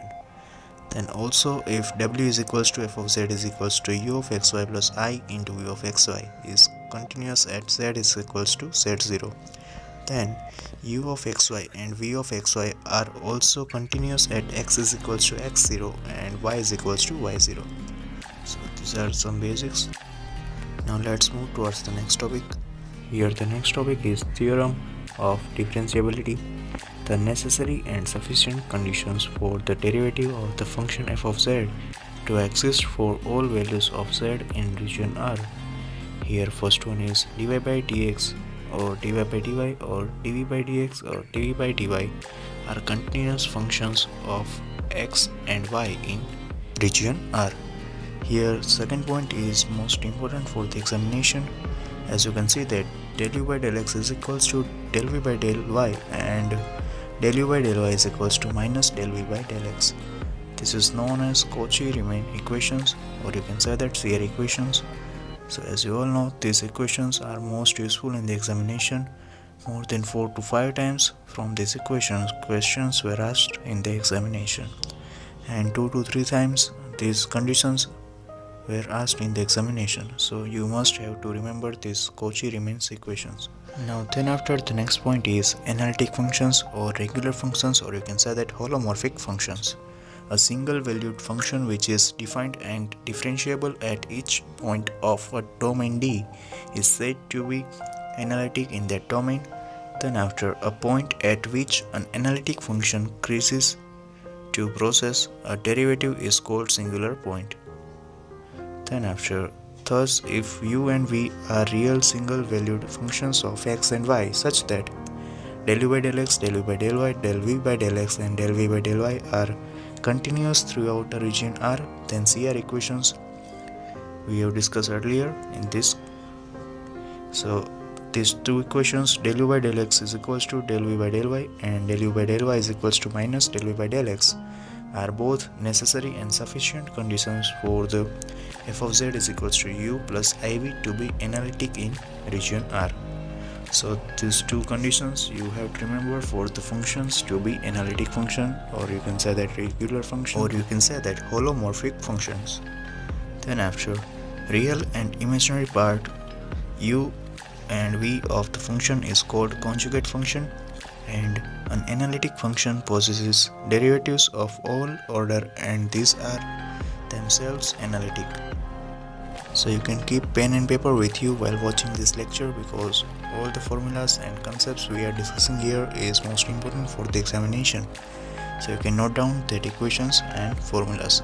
Now let's move towards the next point.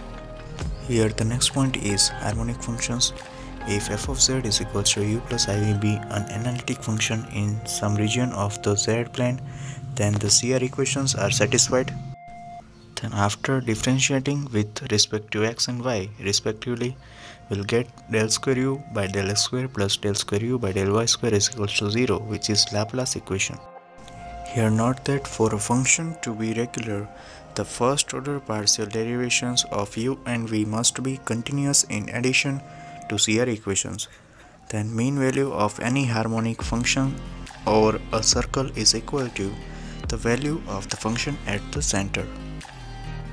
So in general for harmonic functions the Laplace equation should be satisfied and these two notes are important for the regular function or you can say that analytic function. Now let's move towards the next point. Here as you can see that methods of constructing analytic functions First one is if the real part of a function is given then f dash z is equals to del u by del x minus i into del u by del y. Then after integrate with points at z and 0 so we'll get f of z is equals to integration del u by del x at z and 0 dz minus i into integration del u by del y at z and 0 into dz plus c similarly in case of v of xy is known then f dash z is equals to del of d by del x plus i into del v by del y then after in the second case if u of xy is known then to find v of xy we have dv is equals to del v by del x into dx plus del v by del y into dy. Similarly, dv is equals to minus del u by del y into dx plus del u by del x into dy. Then integrate this equation to find v. So will get f of z is equals to u of xy plus i into v of xy. Then after the next case is if a real part of the analytic function f of z is given which is harmonic function u of xy then f of z is equals to 2u of z by 2 and z by 2i minus u of 0 and 0. These are the three cases or you can say that three methods of constructing analytic functions. Now this is all about the basic portions. Now the next topic is complex integration. Here line integral is equals to integration c f of z dz where c need not to be closed path. Here f of z is equals to integrand and curve c is equals to path of integration. Then contour integral is equals to closed integration f of z dz where if c is closed path then if f of z is equals to u of xy plus i into v of xy and dz equals to dx plus i dy then you can write integration c f of z dz equals to integration c u dx minus v dy plus i into integration c v dx plus u dy so in general for line integration c need not to be closed path and for contour integral c is necessary to be closed path now let's move towards the next point. Here theorem is there f of z is analytic in a simple connected domain. Then integration z0 to z1 f of z dz is equals to f of z1 minus f of z0 here integration is independent of the path. Then after dependence on path in general complex line integration depends not only on the endpoints but also on the path however analytic function in simple connected domain is independent of path. Now here this is the most important equation for the examination. Cauchy's integration theorem and Cauchy's integration formula will discuss after this topic. So here first of all if f of z is analytic in a simple connected domain D then for every simple closed path C in D integration C f of z dz is equals to 0 here note that in other words by Cauchy's integration theorem if f of z is analytic on a simple closed path c and everywhere inside c with no exception not even a single point then closed integration c f of z dz equals to 0 then after here if f of z is analytic within and on a closed curve and if a is any point within c then f of a is equals to 1 upon 2 pi i into integration c. F of z dz by z minus a. Then f dash a is equals to 1 factorial upon 2 pi i into integration c. F of z divided by z minus s square dz. So up to infinite you can write down. So in general this is the final form of the Cauchy integral formula so you must have to remember Cauchy integral theorem and Cauchy integral formulas for the examination. Now let's move towards the next topic. Then here the next topic is Morera's theorem. So if f of z is continuous in a region and integration c f of z dz is equals to 0 around every simple closed c then f of z is analytic in that region then Taylor series so this is also important for the exam here, if f of z is analytic inside a circle C with center at A, then for z inside C, f of z is equals to f of a plus f dash a into z minus a plus f dash a by 2 factorial into z minus a square up to infinite. So based on the Taylor series, you can remember the Maclaurin series also. You just have to put a is equals to 0 in Taylor series then here this is the another form of Taylor series where z is equals to a plus h. So here f of a plus h is equals to f of a plus h into f dash a plus h square by 2 factorial into f double dash a plus up to infinite. So this is the Taylor series. Now the next topic is Laurent's series. If f of z is analytic in the ring shaped region R bounded by two concentric circles C1 and C2 of radii R1 and R2 where R1 greater than R2 and with center at A then for all Z in R.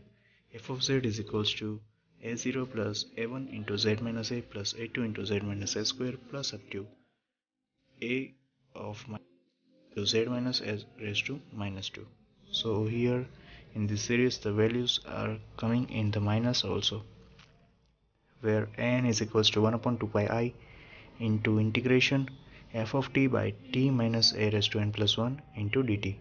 Here f of z is analytic inside the curve then a of minus n is equals to 0 and Laurent's series reduces to Taylor series. So these are some important series you can note down. Now let's move towards the next topic. Here as you can see that zeros of analytic function. Here the value of z for which f of z is equals to 0. Here if f of z is analytic in the neighborhood of a point z is equals to a then by Taylor's theorem we can write down like f of z is equals to a0 plus a1 into z minus a plus i2 into z minus a square up to infinite. So we can write down like f of z is n is equals to 0 to infinite into n into z minus a raised to n where an is equals to f raised to n of a divided by n factorial. Here a0 is equals to a1 is equals to a2 up to an minus 1 is equals to 0 then f of z is said to have a 0 of order n at z is equals to a. So you have to remember this note then after. Here as you can see that singularities of an analytic function. A singular point of a function as the point at which function increases to be analytic. First case is isolated singularity if z is equals to a is a singularity of f of z such that f of z is analytic at each point in its neighborhood. There exists a circle with center a which has no other singularity 1. Then z is equals to a is called an isolated singularity. Then second one is removable singularity if all the negative powers of z minus a in Laurent's series are 0 then f of z is equals to into summation of n is equals to 0 to infinite into n z minus a raised to n. Then singularity can be removed by defining f of z at z is equals to a is such a way that it becomes analytic at z is equals to a. So here limit z tends to a f of z exists finitely then z is equals to a is removable singularity. Then third one is essential singularity. If the numbers of negative power of z minus a in Laurent's series is infinite, then z is equals to a is called an essential singularity. Limit n tends to a f of z does not exist in this case. Then last one is poles. Here if all the negative power of z minus a in Laurent's series after nth are missing then the singularity at z is equals to a is called the pole of order n. Here a pole of first order is called a simple pole. So these are some basic notes you have to remember. Now let's move towards the next topic. Here this is the important topic residue theorem. If f of z is analytic in and on a closed curve C except at a finite number of singular points within C then integration C f of z dz is equals to 2 pi i. Here some of the residue at the singular point within C. Then calculation of residues. Three types are there. First one is if f of x has a simple pole at z is equals to a then here residue of f of a is equals to limit z tends to a z minus a into f of z. Then second one is if f of z is equals to phi of z divided by phi of small z where phi of z is equals to z minus a into f of z and f of a is not equals to 0 then residue of f of a is equals to phi of a divided by phi dash of a. Then after third one is if f of z has a pole of order n at z is equals to a then residue of f of a is equals to 1 upon n minus 1 factorial into d raised to n minus 1 divided by dz raised to n minus 1 into z minus a raised to n into f of z at z is equals to a. Here n is equals to order of singularity then here note that if an analytic function has singularities at a finite number of points, then the sum of residues at these points along with the infinity is 0. So these are some important cases for the residues. And uh, calculation of residues you have to remember because sometimes the questions may be asked like find the residue of any term. So you just have to remember these equations now let's move towards the next topic. Here the final topic of this lecture is Laplace transform. Here first one is introduction. Laplace transform is a method to get generalized frequency domain representation of a continuous time signal and is generalization of CTFT where CTFT stands for continuous time Fourier transform. Here definition of Laplace transform. Laplace of f of t is equals to f of s is equals to integration 0 to infinity e raised to minus f st into f of t dt. Here it is one-sided or unilateral Laplace transform where s is equals to sigma plus j into omega. Then Laplace of f of t is equals to f of s is equals to integration minus infinite to plus infinite e raised to minus st into f of t dt is two-sided or you can say that bilateral Laplace transform.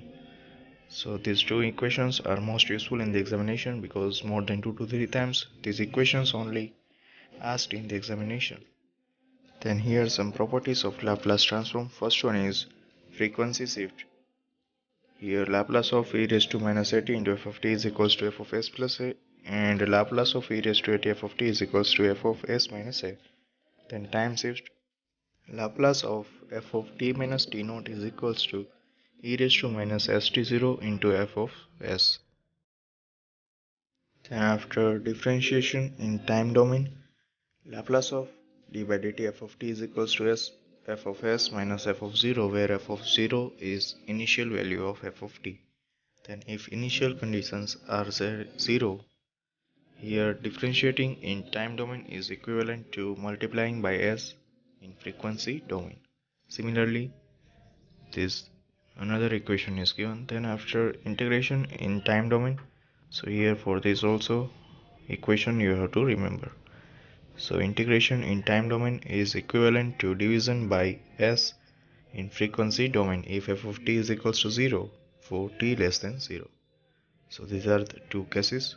First one is for differentiation and second one is for integration. Now let's move towards the next topic. So here as you can see the differentiation in frequency domain L of f of t into t is equals to minus d into f of s by ds and Laplace of t raised to n f of t is equals to minus 1 raised to n d raised to n divided by ds raised to n into f of s. This equation is also very important for the examination. Here differentiation in frequency domain is equals to multiplication by t in time domain and integration in frequency domain L of f of t by t is equals to integration s to infinite f of s ds. Here integration is frequency domain is equals to division by t in time domain. So these are some important formulas for finding the Laplace transform. Then after here the next one is initial value theorem. If f of t and its derivative f dash t are Laplace transformable, then limit t tends to 0 f of t is equals to limit s tends to infinite s into f of s. Here this theorem does not apply to the rational function f of s in which the order of the numerator polynomial is equals to or greater than order of the denominator polynomial. Then final value theorem if f of t and its derivative f dash t are Laplace transformable then limit t tends to infinite f of t is equals to limit s tends to 0 s into f of s. For applying the final value theorem it is required that all the poles of S into f of s be in the left half of S plane. Poles on j omega axis also not allowed. Then after convolution theorem, here it is most useful for the examination. Laplace of f1t into f2t is equals to f1s into f2s. So these are some equations and theorem. Now let's move towards the direct Laplace transforms of the functions here Laplace transform of the periodic function f of t is periodic function with period t then Laplace of f of t is equals to 1 upon 1 minus e raised to minus st into f1 of s where f1 of s is equals to integration 0 to t e raised to minus st into f of t dt. Then Laplace transform of the standard functions. Here this table is most useful for the examination because for solving any example you have to remember this standard equations of Laplace transform. Here some more equations are there you can note down like cos of at into u of t then after sine of h at into u of t. So these are some standard formulas you have to remember. So yes we have included here total 25 formulas like f of at is equals to 1 upon mod a into f of s by a. then after e raised to minus alpha t into sine omega t is equals to omega upon s plus alpha square plus omega square. Similarly t raised to 1 by 2 is equals to under root pi by 2s raised to 3 by t and the last one is t raised to minus 1 by 2 is equals to under root pi by s. So these are the important formulas for the complex variables and Laplace transform in which we have first included basics then after methods of constructing analytic functions then after we have seen complex integration then after Cauchy's integration formula and theorem then after Morera's theorem then after Laurent's series and at the end we have discussed about Laplace transform. So this is all about the sixth part of the mathematics. So now we have completed all the formulas for the mathematics portion so you can check out the previous 5 parts in the description box. If you like this video please do like and subscribe to our channel for the upcoming videos and share this video to maximum study groups. Thank you so much. All for the best. Good luck.